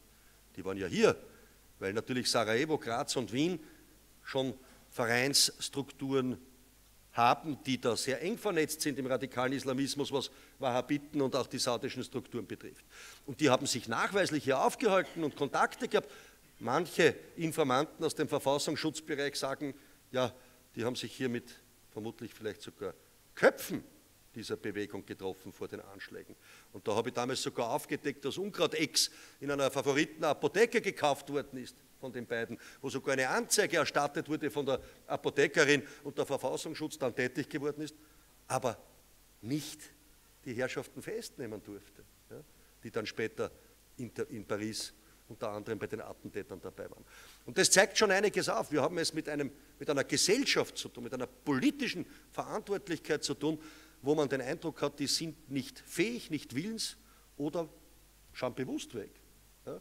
Anders kann man das gar nicht mehr bewerten und das macht es wirklich dramatisch und wir müssen hier ganz, ganz offen und ehrlich sozusagen über diese, über diese Fehlentwicklung reden, sie abstellen und es wird nur politisch gemeinsam gelingen, sie abzustellen. Äh, ich möchte vielleicht nur einen Schlusssatz noch sagen zu den Dolmetschern. Da höre ich auch immer wieder, dass äh, Menschen, die als Dolmetscher fürs Innenministerium tätig sind, da habe ich ein, ein paar wenige, die den Weg zu mir gefunden haben, die entsetzt gewesen sind, die uns gewarnt haben, dass bei den Dolmetschern mit überwiegender Mehrheit für das Innenministerium ja selbst die radikalen Islamisten übersetzen und falsch übersetzen und sie das ja hören und auch mitbekommen, dass hier gelogen wird, dass die Fehlangaben machen, dass man am Dialekt hört, dass der gar nicht aus der und der Region kommt, was der behauptet und dass eigene Netzwerkstrukturen bereits bei den Dolmetschern für das Innenministerium gibt. Also da, da, da, da habe ich dann überhaupt, überhaupt kein Vertrauen mehr in diesen Staat, wenn ich dann von Dolmetschern mit Migrationshintergrund bereits gewarnt werde, von Männern und Frauen, die Angst haben vor den radikalen islamistischen Strukturen in Österreich und sagen, sogar dort sind sie schon mit Mehrheit im Dolmetscherbereich vorhanden. Und dem Innenministerium fällt es bis heute nicht auf und man glaubt offenbar auch diesen Herrschaften bei der Übersetzung. Na dann darf man sich überhaupt nicht mehr wundern über gewisse Entwicklungen.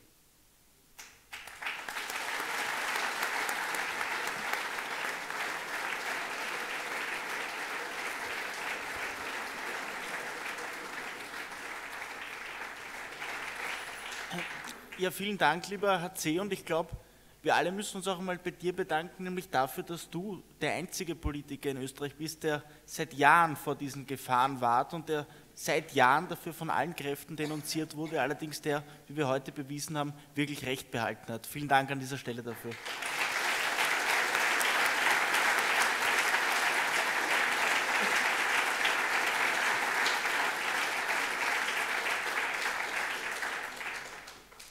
Herr Dr. Albayati, es wurde das Thema Scharia kurz angesprochen. Vielleicht können Sie noch ein paar Worte dazu sagen und dann einen Blick in die Zukunft geben und Perspektiven und Lösungen, so quasi als Insider in der islamischen Szene aufzeigen. Da wären wir Ihnen sehr verbunden.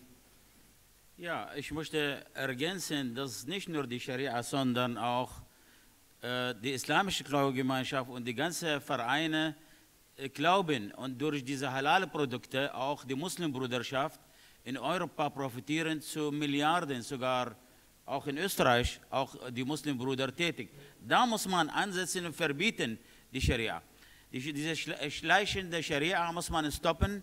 Aber ich möchte auch erinnern, dass im Kindergarten, wie Herr Strache gesagt hat, zum Beispiel mit drei Jahren, vier Jahren, die Kinder müssen, die Mädchen mit Kopftuch. Und wir haben verlangt, Verbot von Kopftuch, wenigstens für Kinder, geschweige in dem Koran gibt kein Kopftuch. Soll jemand, eine Gelehrte, mir sagen, wo steht? Es gibt eine, eine, eine Sura, 33, äh, Ayah, 53, 54, manche Übersetzungen auf Deutsch, bezogen auf ein, ein Trennwand oder äh, äh, also Gardine, wenn die Gefolge von den Propheten Mohammed von, von Kopftuch nicht. Aber warum das ORF und die Medien nur bevorzugen diese Kopftuch tragende Frauen und die Muslimbrüder?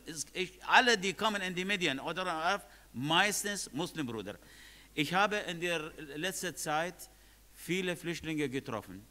Ich habe erfahren, dass zum Beispiel, ich sage Ihnen, es ist kein Geheimnis, wir haben viele Minister getroffen, Parteichefs, sogar war ich mit Dr. Kreisel bei der News-Chefin Beate Reisinger, wir kennen sie von EVP, äh, ich war, wir waren auch bei äh, äh SPÖ-Club, bei EVP und alle sprechen, aber tun nicht. Und ich habe auch Botschafter getroffen, deshalb sage ich Ihnen warum.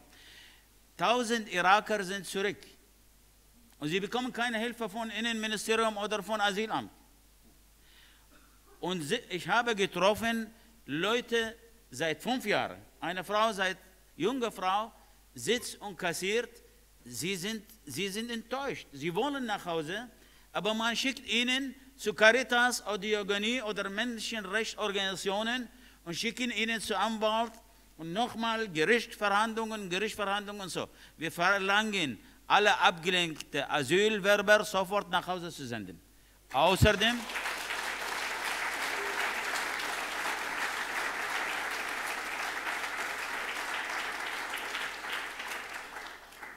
wissen Sie, im islamischen Zentrum, Herr Strache, keiner kann tun gegen die Terroristen radikale Islamisten. Wissen Sie das, ja? Ich gebe Ihnen ein kleines Beispiel.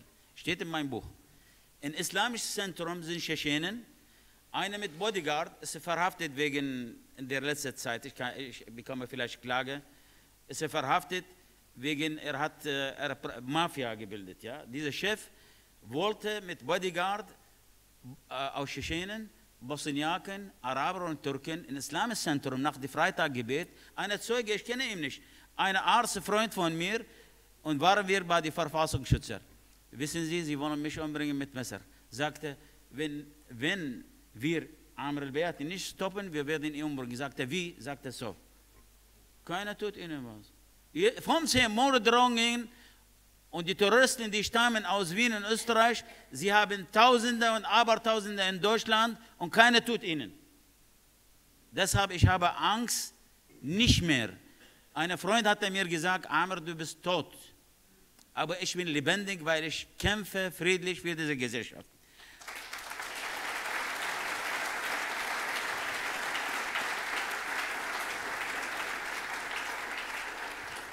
Ich habe im Bahnhof in Graz, Salzburg und Wien, weil ich muss mich orientieren als Islamexperte und Präsident der Initiative Liberaler Muslime, dass nicht wie manche Experten, die kommen in ORF oder in die Medien und die wissen nicht, sie haben nicht mal einen ein, ein Moscheebesuch.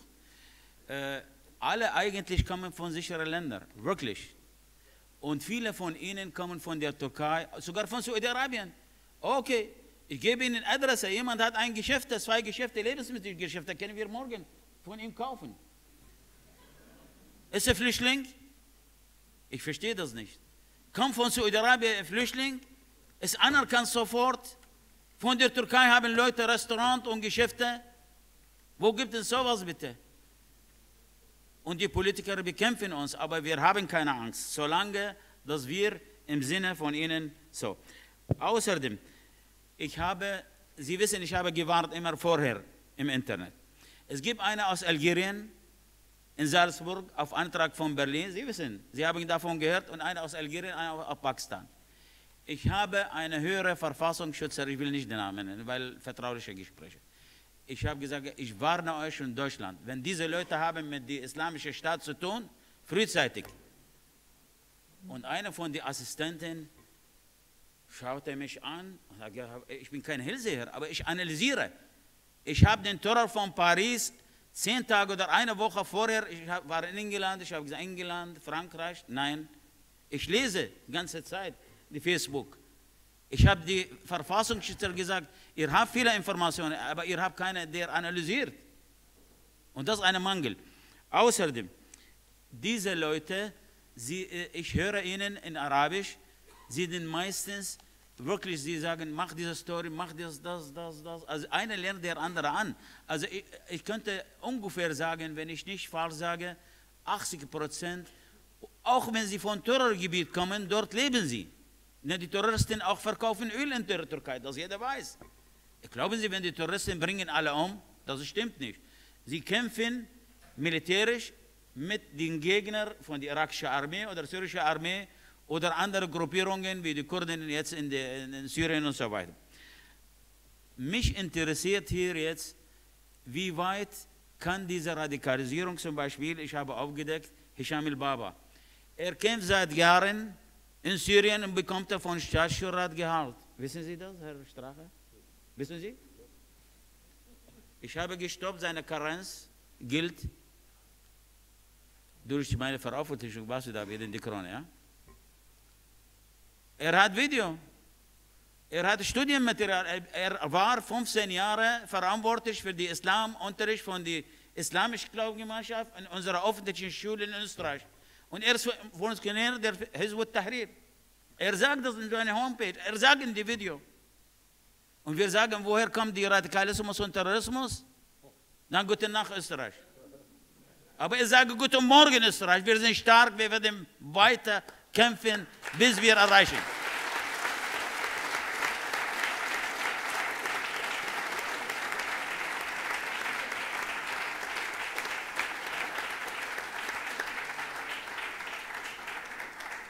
Wissen Sie, ich war vor Gericht erst einmal Zeuge für diese Mirsad Omorovic, diese bosnische von Venediger Au-Moschee. Kam zu mir, Hussein, ein Freund aufgegeben und sagt, Amir, ich will das umbringen. Sage, warum? Sagt er, meine Kinder waren aufgewachsen mit Firasse Huaydi, der tot auch dort, ja, der mich angedroht. Ja. Sage, du brauchst, sprich mit deinen Kindern, hat er mit ihnen gesprochen, und ich war Zeuge, weil ich habe veröffentlicht in die Krone, dass Misrad Omorovic in, ähm, in 13. Äh, Bezirk bei der katholischen Kirche ein Saal, sie sind ahnungslos, alle Salafisten aus Österreich gekommen und war Sandra und Samra dort. Ich habe gesehen, ich habe gesagt, Frau Richterin, ich kann nicht sagen, er hat sie geschickt. Ich habe Angst zu sagen. Sie wissen, was ich meine, ja? Er hat sie geschickt. Aber ich habe gesagt, Frau Richterin, ich habe gesehen, weil Sandra sieht wie meine Neffen mit blauen Augen. Ich habe sie lieb geguckt und die andere Samra und äh, gegangen und so weiter. Er hat sie geschickt. Aber vor Gericht, wenn sie morgen, ich bringe Ihnen Zeuge, ich habe nicht gesagt. Ich habe nicht gesagt, habe ich gesagt, dass sie, er hat ihnen geschickt? Also es gibt viele Geschichten. Und warum ich habe das Buch geschrieben? Ich habe das Buch geschrieben und jetzt kommt in die englische Übersetzung und wir haben ergänzt, aber kommt neue Erhöhung, also noch viele Aufdeckungen, die tagtäglich machen. Übrigens, wir haben eine Aussendung, ihr könnt lesen, im, im, es gibt einen Kindergarten, heißt Wa Islama. Dieser Terrorist Mohammed Mahmoud, der Dschihadist, hat in Gericht gesagt, Wa Islama. Wisst ihr, vielleicht Frau Dr. Äh, Karin kann helfen, dass ein Dschihadruf, Wa Mu'tasamah, der Kalif ruft sie, Wa Islama, Muslime kommen zu Dschihad. Eine Wa-Islama Kindergarten muss geschlossen. Wir fordern heute noch nachträglich. Steht in unserer Homepage. Außerdem, Nabi Oizal und Anis Shakwe, ehemaliger Präsident der islamischen Glaubensgemeinschaft. Ich habe damals für die Wiener Zeitung aufgedeckt. Er hat sogar mit Zeichnung, dass jeder Muslim muss bereit für seine Heimat sich in die Luft zu springen. Und nachher sagen sie für die Zeitung, ja, weil in der Türkei gibt eine, eine, eine Krieg mit der PKK. Aber bitte, Herr Strache, haben wir einen Krieg hier mit der PKK oder mit der Türkei? Und, kein, und bekommt Orden noch. Alle Muslimbrüder bekommen Orden. Alle. Also diese Sachen muss man endlich mal, äh, vor allem ist die katholische Kirche auch unsere Kritik. Sie haben eine Fakultät mit der islamischen Glaubensgemeinschaft Morgen werden sie die Katholiken auch islamischer Unterricht und Koran dort lehren. Das ist absurd. Das gibt es nicht. Weil, wie Sie wissen, wir möchten den Islam reformieren. Wie die Juden in der zweiten Hälfte des äh, 19. Jahrhunderts, wir sagen die Bücher belassen, die Hadith von dem Prophet Mohammed, aber wir haben Auslegung. Gleichberechtigung der Frau. Nicht, wenn die Frau, der Vater stirbt, bekommt die Hälfte. Oder zwei Frauen, so, äh, müssen zwei Frauen wie eine Zeuge. Das gibt alles hier. Und sie denken das, aber nicht im Kindergarten, sondern auch in den Moscheenvereinen. Und ich will auch eine, kein Geheimnis verraten. Es gibt Koranschulen in den Moscheen, Kinder mit Kopftuch. Und wissen Sie, ich sage Ihnen jetzt nicht, ich will aufdecken für eine Zeitung. Und sie werden von österreichischen Stellen und, und auch Firmen unterstützt und Banken unterstützt und Firmen unterstützt. Das muss zu Ende sein.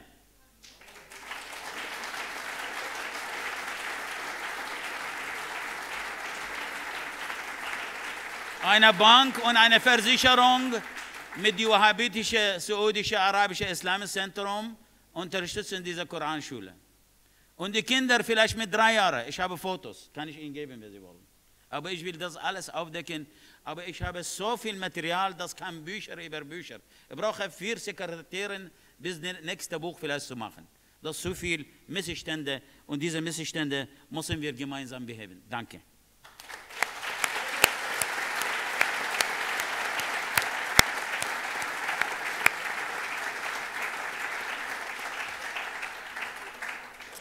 Ja, vielen Dank, Herr Dr. Albayati. Ich kann nur jedem wirklich nochmal mit Nachdruck empfehlen, das Buch, das man hinten erwerben kann, auch wirklich zu kaufen und mitzunehmen. Es steht viel Interessantes drin, das auch noch weit über den Vortrag hinausgeht und es kann wirklich niemanden äh, schaden. Ganz im Gegenteil, es kann jeden nur sehr weiterbilden, wenn man sich da auch weiter informiert und dieses Thema noch genauer und in die Materie noch genauer eingeht.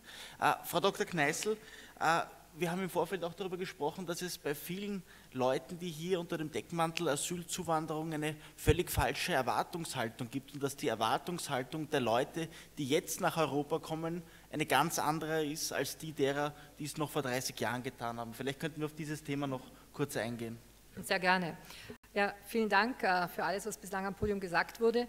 Äh, ich darf vielleicht die Problematik, die ähm, ähm, Herr Badachef Strache angesprochen hat, was die Dolmetschersituation anbelangt, das ist ein Dilemma, in dem sich viele europäische Staaten befinden. Also zum Beispiel ist es dem MI6, dem britischen Nachrichtendienst, zweimal passiert in den letzten 15 Jahren, dass sie äh, politische Analysten rekrutierten, die der arabischen Sprache mächtig sind und die sie dringend suchen, die letztendlich sich als aktive Al-Qaida-Mitglieder erwiesen. Also es, es, ist nicht nur sozusagen ein Dilemma, das österreichische Behörden erfasst, deutsche, aber es ist äh, ich erinnere mich, ich glaube, es war im Jahr 2001 oder 2002, dass als der damalige äh, Finanzminister Grasser und Bundeskanzler Schüssel am liebsten Arabisch als Orchideenfach abgeschafft hätten an den Unis. Ähm, aber wir brauchen es heute dringend und es gibt sie, äh, die arabischen Dolmetscher, aber man müsste wahrscheinlich in einer Art guten Werkvertrags äh,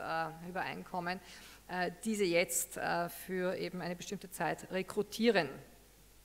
Äh, diese überzogene Erwartungshaltung und falsche äh, sozusagen auch ähm, ja, Haltungen, mit denen Menschen kommen, wenn ich das so überblicken darf über die letzten 30 Jahre äh, und auch wie ich es in meinem Bekanntenkreis, Kollegenkreis erlebt habe mit Menschen, die in den 80er Jahren beispielsweise vor der Islamischen Republik Iran und dem damaligen Terror, der sich im Iran gegenüber eben freidenkenden Geistern äh, äh, stellte, die Menschen kamen an sich mit der Einstellung, in Europa sich zu beheimaten. Und das läuft eigentlich auf etwas hinaus, was viele heute nicht so gerne hören werden wollen.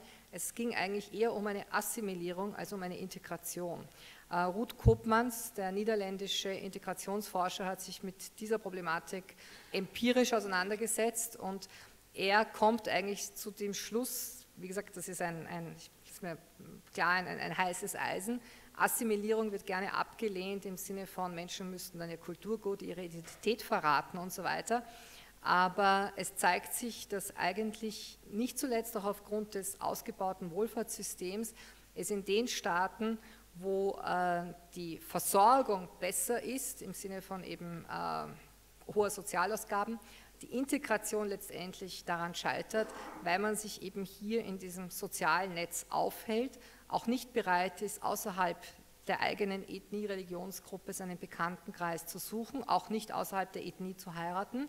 Und wenn ich das jetzt vergleiche mit der Lage in den USA, wo das Sozialnetz nicht in diesem, in diesem Umfang ausgebaut ist, ist es eigentlich für den Neuankömmling eine, äh, eine Notwendigkeit, sich möglichst rasch zu assimilieren und nicht eben nur zu integrieren im Sinne von, ich bleibe innerhalb meiner Community und heirate auch nur innerhalb meiner Community.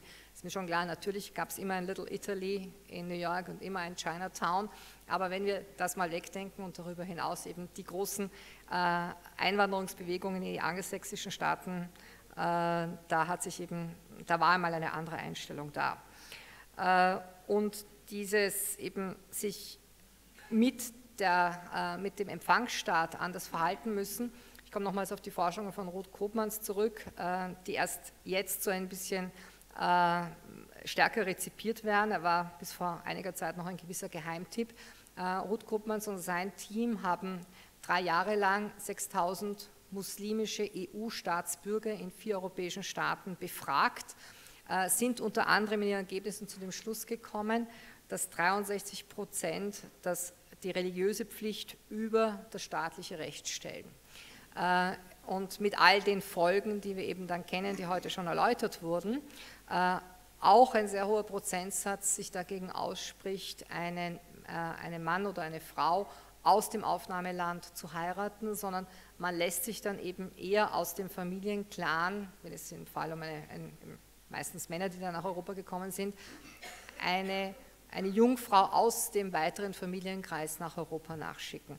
Und das sind Entwicklungen, die eigentlich erst in den letzten Jahren sich massiv eben weiter äh, in, diese Richtung gestiegen sind, weil wenn ich jetzt vergleiche mit dem Kollegen Bekanntenkreis der 80er Jahre, äh, man kam nach Europa, um Franzose, Brite, Deutsche oder was auch immer zu werden. Das war die Haltung jener, die aus dem Iran, die aus Algerien geflüchtet waren, äh, die ein Kriegsgebiet Libanon verließen. Sie wollten sich in gewisser Weise zu eine, eine, eine, eine neue Heimat schaffen, indem sie eben als Staatsbürger mit allem, was dazugehört, in diesen Staaten eben zurechtfinden wollten und sich auch einen Freundes- und Bekannteskreis eben in diese Richtung schufen. Äh, interessant, was eben auch die äh, Problematik, was wiegt höher, religiöse Pflicht oder staatliches Recht. Eine ähnliche Umfrage äh, hat äh, Pew Research gemacht äh, in den letzten Monaten in östlichen Staaten bis hinein nach Pakistan und da ist man beispielsweise im Libanon zu dem Schluss gekommen, nur 35 Prozent der Bevölkerung würden das religiöse Recht über das staatliche stellen. In Europa sind es aber, wie gesagt, unter den muslimischen Einwanderern über 60 Prozent, die das Religiöse über das Staatliche stellen. Also da ist eine, eine andere äh, Auffassung und ein Zugang eben zur Trennung von Politik und Religion in den Herkunftsländern teilweise gegeben, äh, rein jetzt von der Statistik her. Äh, diese Erwartungshaltung und das, was hat mir der Staat zu, zu liefern und zu bieten.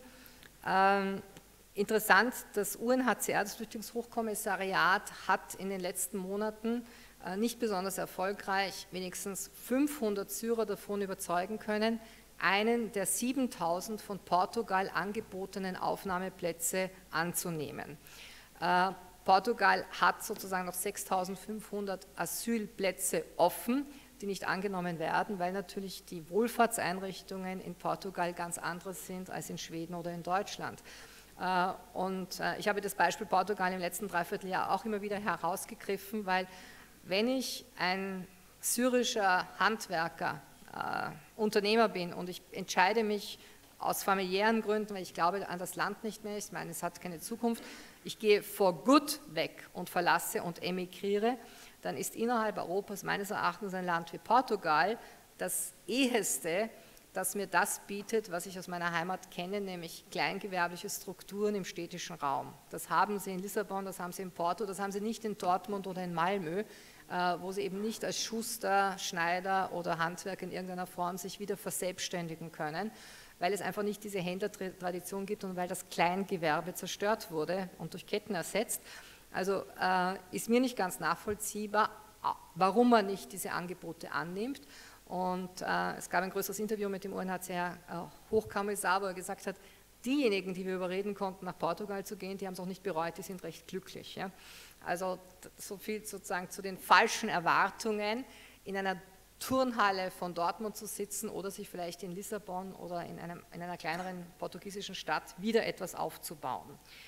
Ähm, die, äh, wenn es geht auch um diese Frage, wie integriere ich, um wieder bei der Integration zu sein und nicht bei dem eher unbeliebten Begriff der Assimilierung, ähm, die, äh, meines Erachtens wäre der Zugang eigentlich der, äh, dass ich zuerst die Flüchtlingskonvention wirklich anwende und die bestehenden Rechte eben umsetze und erst dann mit dem Personenkreis, der diese Kriterien erfüllt, der in gewisser Weise sozusagen übrig bleibt, mich diesen voll und ganz widme, was Zuwendungen, was Deutschkurse, was Ausbildungen und so weiter anbelangt. Ich habe den Eindruck, dass gegenwärtig ähm, in einem Gießkannenprinzip über alle das ausgeschüttet wird, ohne dass man hier wirklich sich konzentriert auf diejenigen, die Konventionsflüchtlinge sind. Das wird einfach nicht gehandhabt und äh, wie zuvor von äh, Hans-Christian Stache ausgeführt, die, die Problematik der eben Nichterfüllung der Kriterien der UNO-Flüchtlingskonvention, das ist, das ist ein, ein wesentliches Thema. Ähm, ich habe den Eindruck, dass äh, Europa hier in seiner Verwundbarkeit, Selbstaufgabe wurde heute auch schon genannt, ähm, vielleicht auch unter einem, äh, einer Geschichtsschreibung leidet, die zum einen den Zweiten Weltkrieg ausschließlich aus der Perspektive des moralischen Versagens sieht und nicht andere geopolitische, historische Gründe, die das Gemetzel von 39 bis 45 eben auch äh, weiters noch äh, erklären könnten, dass man also unter dem Titel des moralischen Versagens, unter dem Titel aber auch der Schuld, die die Kolonialmächte verursacht haben, haben, tragen, dass man hier also wahrscheinlich teilweise in einer Selbstverleugnung eben eine, eine Politik führt, die weder den Schutzsuchenden noch den eben äh, Staaten in Europa wirklich die Lösung bietet. Äh, unter diesem Titel äh, darf ich auch verweisen auf einen Roman, der vielleicht der eine oder andere unter Ihnen bekannt ist, er wurde jetzt neu aufgelegt, äh, des Franzosen Jean Raspail, das Heerlager der Heiligen, Le Camp de Saint, 1973 verfasst und er beschreibt darin eine Fluchtbewegung einer Hungerflotte aus Indien kommend, äh, die ursprünglich in Ägypten landen wollen, von der ägyptischen Armee aber zurückgeschlagen werden, aber dann in Frankreich landen. Und er beschreibt eine Situation, die sehr stark dem ähnelt, was wir heute in, äh, vor allem in Schweden und Deutschland und Österreich erleben, nämlich diese starke Kluft in der Bevölkerung äh, im Sinne von, ja, wir müssen helfen, nein, wir müssen vorsichtig sein und man muss sozusagen mit dem ganzen ähm, vielleicht mit einer Portion Skepsis umgehen. Er beschreibt die Rolle der Medien, aber auch der Kirche, wie die eben äh, in, diesem, äh, in diesem Roman handelt. Und äh, in gewisser Weise hat diese, diese prophetische Roman eine, eine bittere Wirklichkeit erwischt. aber ich, ich, ich fürchte, dass Europa in seiner Verwundbarkeit vieles nicht richtig erfasst, eben Teile der europäischen Politiker, vor allem aber auch jener eben, die in Brüssel weiterhin auf eine europäische Lösung zählen, äh, die es nicht geben wird. Das hat sie die letzten fünf Jahre nicht gegeben, als die Flüchtlingskrise vor allem Italien erreichte. Äh, es wird immer wieder der Ruf auch nach einem arabischen Marshallplan laut. Ich würde sagen, den hatten wir in der Vergangenheit über die verschiedensten EU-Nachbarschaftsinitiativen, die auch nichts gefruchtet haben. Und äh, das, was meines Erachtens hier viel mehr erforderlich ist, wirklich eine, einen klaren Kurs zu behalten und eben diese ganzen Pull-Faktoren, die im Sinne der Einladungspolitik vor allem der deutschen Kanzlerin, aber nicht nur ihrerseits laut wurden, dass man diese eben einfach hinter sich lässt und hier einen, einen klaren Linien, einen anderen Kurs vorgibt. Ähm, es hatte das UNHCR Mitte der 80er Jahre mal eine sehr kluge Initiative. Das war als die Satellitensender gerade aufkamen und eben man auch in den Slums von Westafrika äh, so manches Bild vorgegaukelt bekam von dem, was ein Leben in Europa bedeuten könnte, hat das UNHCR damals sehr gute Videospots angefertigt, um junge Menschen zu warnen vor dem Weg nach Europa. Es wurden in diesen kurzen Filmen eben gezeigt, ein junger Mann aus Nigeria äh, nach äh, Europa gewandert, ruft aus einer Telefonzelle, wir sind noch in den 1980er Jahren, seine Familie einmal im Monat an, um zu erklären, es sei alles wunderbar, aber man zeigt dann seine Wirklichkeit. Er ist Bettgeher in einem Kellergeschoss, er wandert in die Drogenkriminalität ab und so weiter. Und man verteilte diese Videos, man zeigte sie in den nigerianischen Fernsehstationen. Derartige Initiativen hätten einfach langfristig fortgesetzt werden müssen. Also man äh, holt das jetzt nach, indem man eben Busse in Kabul mit Warnungen sozusagen, versuchen Sie ja nicht Ihr Glück. Äh, es wird sich vielleicht das ein oder andere umsprechen durch die Rückkehrer, das ist dann die Mund-zu-Mund-Propaganda, aber man darf eines nicht vergessen, äh, das Elend und der, der Bevölkerungsdruck, der in Schwarzafrika herrscht, ist noch ein ganz anderer als die Situation in Nordafrika und im Nahen Osten. Also ich kenne selbst Schwarzafrika nicht sehr gut, ich kenne nur Angola und Mosambik aus eigener Anschauung aber hier ist natürlich auch mit dem Ende des Wirtschaftswunders, das zehn Jahre lang weilte im Sinne hoher äh, Rohölpreise, ist zu Ende. Und es wird genau aus diesen Gegenden eben zu größeren Bewegungen kommen. Und nachdem eben auch die Problematik Frontex und wie wird sie agieren gefallen ist, ich persönlich habe meine großen Zweifel an dem, also jetzt in Aufbau befindlichen NATO-Einsatz durch die britische Marine im südlichen Mittelmeerraum. Es fehlt ihnen an Geländewissen, es fehlt ihnen an Kontakten zu den wesentlichen Gewährsleuten. Wir sind auch wieder bei der Sprache. Äh, also hier versucht jetzt die Europäische Union, eine, einen neuen Gaddafi in Libyen aufzubauen, denjenigen, den sie sozusagen jahrzehntelang als ihren besten Freund hatte, weil er war dieser äh, ja, Garant für eine sehr makabre auch äh, Politik der Hintanhaltung der Flüchtlingsströme. Ob dieser neue starke Mann von Libyen die dritte, de facto dritte Regierung in Libyen sein wird, die man jetzt auch eben mit Waffen äh, ausstatten will. Das Waffenembargo wurde eben aufgehoben bei der Konferenz, in, also es gab dafür Gespräche für diese Aufhebung des UN-Waffenembargos. Ähm, bloß ähm, es wird nicht gelingen. Ja. Es, äh, es, ist diese nordafrikanische Route ist eine, aber sie ist nicht die, die, die, die, die, sie ist eine unter vielen und der Kniefall vor Erdogan ist meines Erachtens äh, eben das, das, das, ganz besonders Fatale in, in diesen hilflosen Versuchen, hier eine, eine, ja, eine physische Lösung zu finden. Es werden sich Routen, äh, wie vorher schon geäußert, eben was Pakistan, Bangladesch anbelangt, über die eurasische Landmasse im weitesten Sinne finden. Und wenn diese dann über das Kaspische Meer gehen oder über den Ural oder was auch immer, ähm, werden sich diese Routen finden und ich, äh, ich weiß nicht, ob hier die europäischen Exekutive, Streitkräfte, wie auch immer, eben auf gewisse Situationen wirklich vorbereitet sind. Weil äh, dafür bedarf es nicht nur einer bestimmten Ausrüstung, sondern es bedarf auch einer gewissen Resilienz, mit schwierigen Situationen umzugehen. Äh, und es wird jetzt versucht, in Schnellsiedeverfahren Exekutive auszubilden. Das Problem hat unter anderem auch Schweden, wo die Polizisten in Scharen davonlaufen, wo man eine Exekutive sozusagen ständig neu besetzen muss, weil Burnouts, äh, was auch immer, also die Leute wegtreiben, Durchschnittsdauer also verkürzt sich auf einige Jahre und nicht mehr 30 oder 40 Dienstjahre. Äh, und es wird auch in Staaten wie Schweden, Frankreich, Großbritannien nicht nur vor dem Hintergrund der Anschläge des letzten Jahres äh, über eine Wiedereinführung der allgemeinen Wehrpflicht in den Parlamenten diskutiert, weil man einfach nicht die Kapazitäten hat, beispielsweise um in einem Land wie Frankreich äh, all die öffentlichen Plätze zu sichern und sei es nur durch Patrouillen oder durch äh, ähm, Körperkontrolle beim Eingang, beispielsweise eben ob jetzt in Einkaufszentren, aber auch Kirchen, äh, wo eben jetzt überall Kontrolle stattfindet, weil man einfach Sorge hat eben vor äh, dem nächsten Ausbruch an terroristischer Gewalt. Und ich fürchte, dass die, die Qualität an neuen Terroranschlägen, mit denen wir in Europa konfrontiert sein werden, äh, und ich zitiere hier nichts, also ich sage nichts Neues, ich zitiere die Aussagen des Europol-Berichtes von Ende Jänner, beziehungsweise dessen, was libanesische, tunesische Nachrichtendienste schon im letzten Jahr immer wieder verkündet haben. Es wird zu gefechtsartigen Auseinandersetzungen kommen.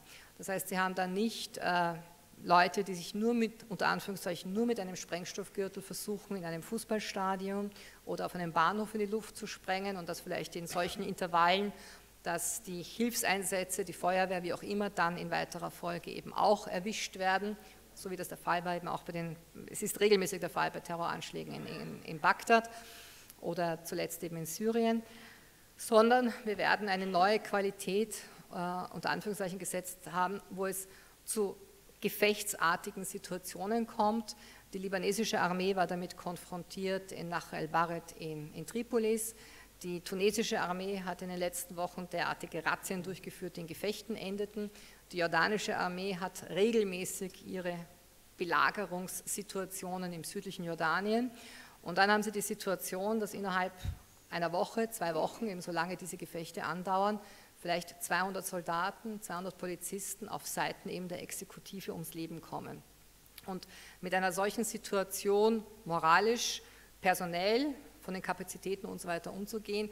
Da fürchte ich, fehlen in Europa einfach viele Voraussetzungen. Und das ist die große Sorge, dass eben in einer solchen Situation sehr, sehr vieles kippen kann. Die, die gesamte, das was man auf Französisch einfach nennt, le moral, das dann sozusagen kippt.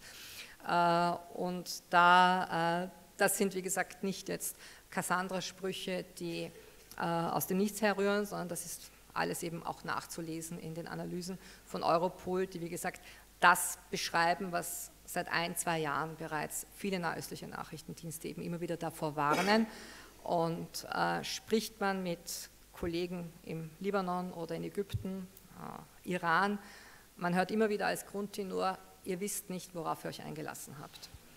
Äh, und da, glaube ich, ist einfach auch äh, vonnöten eine, eine auf technischem Niveau und auf, auf Gegenseitigkeit, also wirklich echter Reziprozität beruhende Zusammenarbeit. Man hat in den letzten Jahren immer wieder auch ein wenig arrogant hinuntergeschaut, seitens der Spanier auf die Marokkaner, seitens der Franzosen auf die Algerier, aber letztendlich kamen viele nützliche Hinweise und das, was äh, diese äh, Behörden den Europäern zum Vorteil haben, damit runde ich ab, was wir vorhin über die Sprache gesagt haben, sie können Arabisch ihre Muttersprache, sie beherrschen ein exzellentes Englisch, ein exzellentes Französisch. Das heißt, sie haben viel, viel Möglichkeiten, Abhörprotokolle im großen Stil, wie auch immer, zu interpretieren und ihre Schlüsse zu ziehen, als das den europäischen und, und schon gar nicht den nordamerikanischen Geheimdiensten in diesem Umfang äh, möglich ist.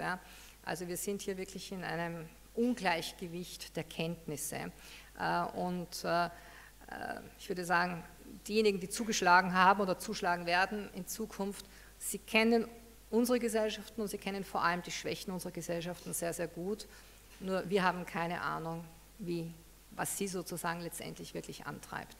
Und da ist eben eine absolute Ungleichgewichtigkeit da. Und damit schließe ich. Danke sehr.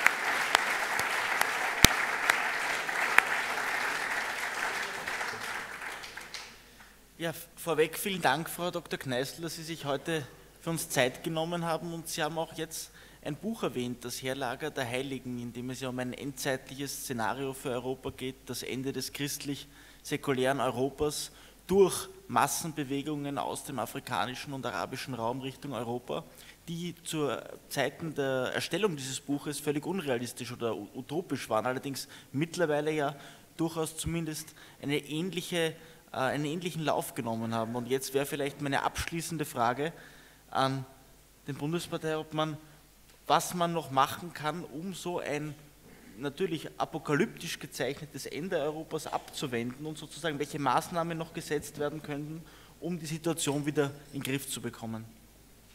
Also ich glaube grundsätzlich weiß jeder, der sich mit Geschichte auseinandersetzt, dass jede Völkerwanderung in der Menschheitsgeschichte immer zu Gewalttätigkeiten geführt hat und zu dramatischen Entwicklungen und Blutvergießen. Und das ist eine sehr gefährliche Entwicklung. Wir haben sie mit einer modernen aktuellen Völkerwanderung ausgelöst durch die Prozesse, die ich vorher beschrieben habe. Und das macht es besonders gefährlich. Und wir brauchen daher eine einerseits offene Debatte, aber auch ein rasches Umdenken. Entweder der politischen Verantwortungsträger oder ich sage in der Bevölkerung, dass neue politische Verantwortungsträger äh, auch entsprechend äh, die Kraft erhalten, das in Angriff zu nehmen. Denn wir stehen im wahrsten Sinne des Wortes vor einem Untergang Europas und die Frage, die sich stellt, ist, schauen wir zu, sehenden Auges hineingehend oder versuchen wir sozusagen dieses Europa, wie wir es kennen, lieben und schätzen gelernt haben, noch zu retten und als christliches Abendland zu halten. Und diese Frage stellt sich. Entweder findet eine weitere Islamisierung Europas statt, das muss man so offen ansprechen, und damit wird es auch dieses Europa, wie wir es kennen, als christliches europäisches Abendland in der Form nicht mehr geben.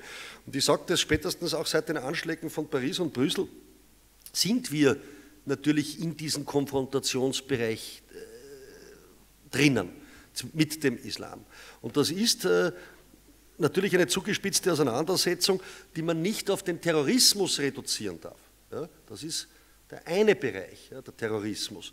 Aber das Ziel der meisten islamischen Organisationen, die den politischen Islam leben, der Muslimbruderschaft oder die Miligöros oder die ATIP und andere Strukturen, die haben ja ein klares Ziel, nämlich letztlich, äh, dass äh, natürlich eine Islamisierung Europas stattfindet und dass der politische Islam natürlich auch als Glaubenslehre äh, viel, viel mehr darstellt. Er ist eine Zivilisation, ein politisch-totalitäres System, eine Rechtsordnung, eine Religion und er umfasst letztlich die Scharia als rechtsverbindliche Struktur. Und ich sage, vor dem Hintergrund muss man natürlich auch die heiligen Schriften und den Islam und den Koran und die Hadithen äh, auch kennen und müsste in Wahrheit darauf bestehen, wenn man eine Religionsgemeinschaft hier anerkennt, dass man auf Basis der übersetzten deutschen Inhalte das auch kennt, bewerten und beurteilen kann und sagen kann, das passt aber nicht in unser Rechtssystem. So etwas können wir nicht anerkennen, wenn da zum Beispiel dann, ich sage, man sich darauf beruft, wie zum Beispiel Übersetzungen wie die Sure 291 und tötet die Heiden, wo immer ihr sie zu fassen bekommt und vertreibt sie, von wo sie euch vertrieben haben. Oder Sure 293 und kämpft gegen sie, bis niemand mehr versucht, Gläubige zum Abfall vom Islam zu verführen und bis nur noch Allah verehrt wird und vieles mehr. Das kann man jetzt fortsetzen. Wie ist das zu interpretieren? Wird das wortwörtlich gelebt oder gibt es eben eine neue Interpretation, so wie das ja auch zum Glück im Alten und Neuen Testament der Fall gewesen ist? Ja?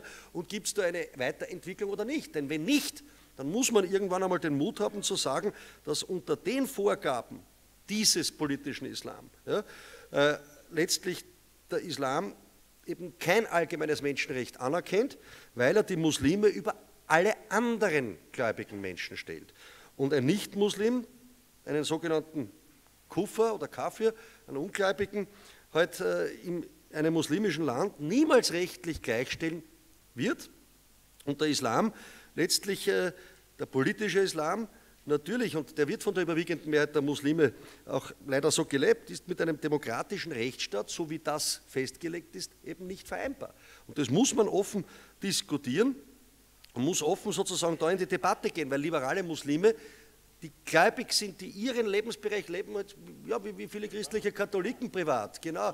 Ja, da braucht man keine Moschee und viele ja, äh, gläubige Menschen haben ihren Glauben privat, aber wenn es um diese Glaubensstruktur geht, dann ist die eben wirklich mehr als kritisch zu hinterfragen. Und da müssen wir wirklich aufpassen, weil sonst äh, werden wir das nicht mehr äh, einholen. Und deshalb ist es so wichtig, sozusagen auf das zu kommen, was notwendig ist. Ja. Einerseits zu sagen, dass äh, Scharia bei uns nicht einmal irgendwo was verloren hat. Dass radikal-islamistische Vereine, die seit Jahren äh, subventioniert werden äh, und Kindergärten, die sind aufzulassen. Die hat man nicht zu subventionieren, die hat man gar nicht zu genehmigen. Ja? Solche Strukturen darf man gar nicht zulassen. Wenn jemand zu uns kommt, hat er in unseren Kindergärten erzogen zu werden und hat in unserer Gesellschaftsstruktur äh,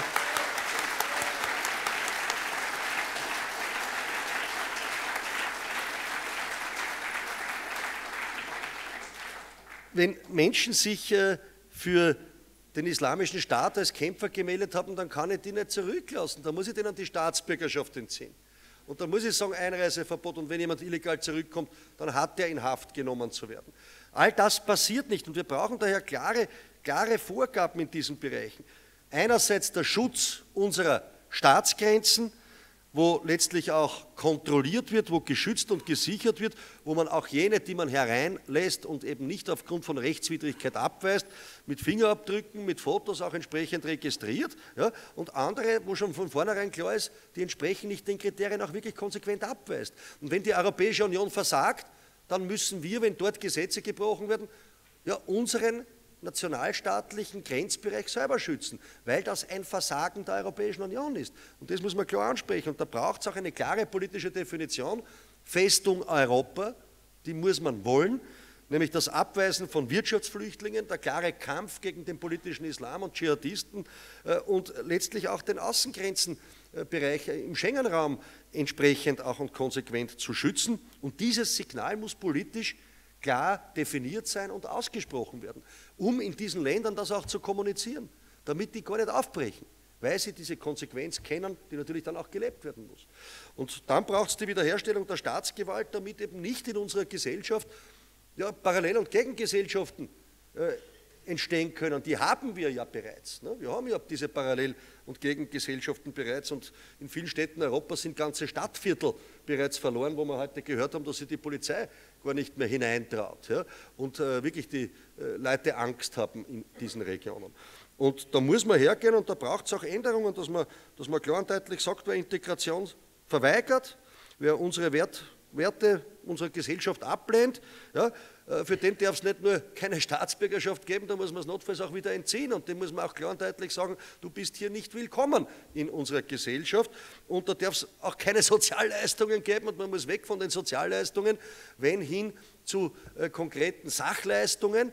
Und wenn einer äh, am Ende keine Bereitschaft hat, eben sich den Vorgaben auch irgendwo unter- oder einzuordnen, dann muss man sagen, du gehst. Und diese Konsequenz muss folgen. Und man muss sich gegen den Terrorismus rüsten, muss klar und deutlich für all jene, die das verherrlichen, dass man Menschen umbringt und den Kopf abschneidet, weil sie andersgläubig sind oder andere Lebenseinstellungen haben, das muss man ganz klar und deutlich so handhaben, ja, wie den Wiederbetätigungsparagraphen. Da kehrt gegen den radikalen Islamismus ein ganz ein klares Verbotsgesetz her.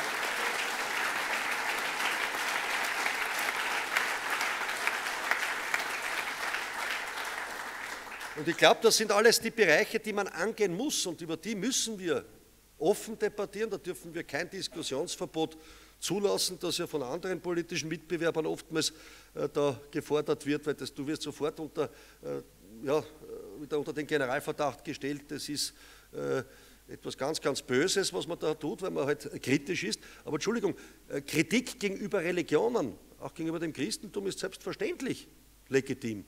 Und wenn jemand eine Religion missbraucht, dann erst recht. Ja? Und sozusagen das politisch versucht zu missbrauchen. Und so gesehen ist es wichtig. Und der Kniefall gegen Erdogan, und dann bin ich schon äh, am Ende, äh, zeigt ja auch einiges auf. Die ganze Lage in der Region da unten zeigt einiges auf. Dass dort aus geostrategischen Interessen die Türken, die Saudis, unterstützt von den Amerikanern, ja überhaupt erst diesen islamischen Terrorstaat zugelassen und möglich gemacht haben, darüber redet man doch heute gar nicht dass man die mit Waffen beliefert, mit Munition beliefert, dass man blutige Ölgeschäfte mit denen macht, dass man in Wahrheit das System eines äh, syrischen äh, Assad, das Assad-System bewusst destabilisiert hat, wo ja halbwegs dort Frieden und Kontrolle vorhanden war, ähnlich wie bei Gaddafi und anderen Bereichen. Ja, das wird ja heute gar nicht debattiert. Das heißt, wir haben hier eine europäische Politik, die zumindest weggesehen hat und sich mitschuldig gemacht hat, wenn nicht sogar verstrickt ist in dieser Entwicklung. Und dann macht man noch mit den Haupt- oder mit einer der Hauptverantwortlichen, mit dem Erdogan, ha, den sieht man als Partner und macht Partnerschaft. Ne? der hergeht und auf Frauen schießen lässt mit Gummigeschossen vor dem Weltfrauentag, der äh, der Opposition jetzt sozusagen an den Kragen geht, indem dort die Immunität aufgehoben werden soll, der äh, mit der Polizei äh, Medien, Oppositionsmedien stürmen lässt, der äh, ganze Stadtteile, wo Kurden leben, äh, die Minderheit dort äh, bombardiert und die Leute dort äh, mit äh, militärischer Gewalt sozusagen auch äh, auf der Straße mit Gewalt begegnet, niederschießt und vertreibt. Das ist ja ungeheuerlich. Mit so jemandem sucht man eine Partnerschaft, während man mit einer zivilisierten Demokratie, sage ich jetzt einmal, die sicherlich da oder da autoritär ist, aber nicht ansatzweise solche Sachen liefert, wie Russland gegenüber Sanktionen ausspricht. Da kehren Sanktionen gegen die Türkei her, aber doch keine Partnerschaft. Das ist ja ungeheuerlich. Und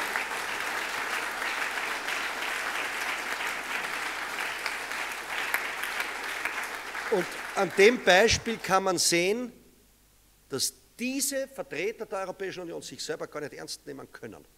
Das ist fadenscheinig, das ist scheinheilig und das ist falsch. Ihre gesamte politische, ihr, ihr politisches Schönsprech ist falsch. Das ist in so vielen Bereichen überführt und entlarvt, ja, dass man eigentlich sich nur mehr wundern kann. Was haben die für ein politisches Ziel? Ja? Also manchmal glaubt man wirklich, ja, die Selbstaufgabe und den Untergang Europas ja, voranzutreiben. Das ist das, was man manchmal wirklich sozusagen als am Ende sozusagen der Wegstrecke, äh, was, was da überbleibt, weil anders kann man das ja gar nicht mehr begreifen oder verstehen. Ja. Und so gesehen ist es so wichtig umzudenken, weil sonst wird halt Europa untergehen wie das alte Rom. Ja. Äh, ich sage, wir treten an, um Europa zu retten. Das ist unser Anspruch und ich sage, das haben auch unsere Kinder und Kindeskinder verdient und ich hoffe, dass wir das auch gemeinsam schaffen werden, weil eines muss man sagen, die Zeit und die Demografie läuft uns davon.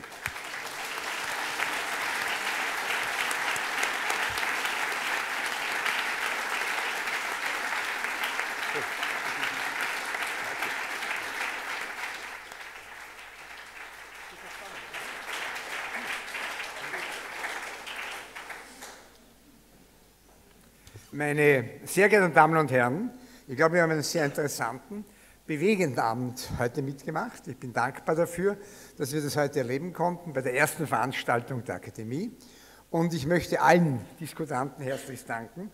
Es war Klartext, der gesprochen wurde, sowohl von Dr. Al Alvayati, der eher der emotionelle Teil der Veranstaltung gewesen ist.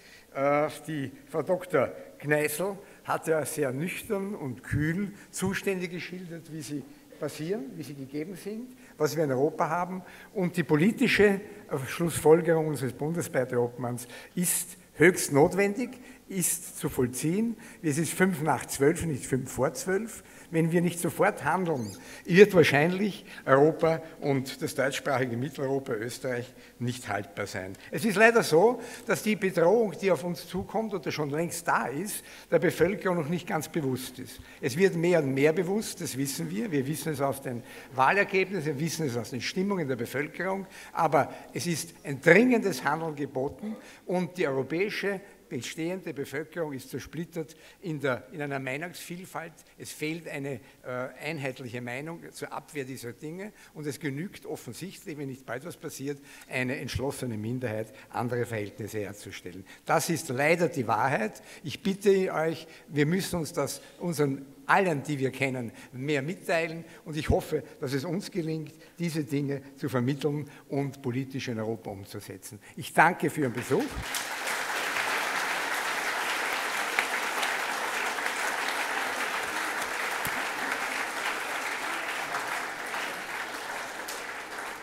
Die Diskussion ist beendet. Es kommt aber unabhängig von den bedauerlichen Gegebenheiten, mit denen wir uns befassen mussten, auch ein angenehmer Teil, nämlich es gibt ein Buffet und zumindest gibt es Getränke.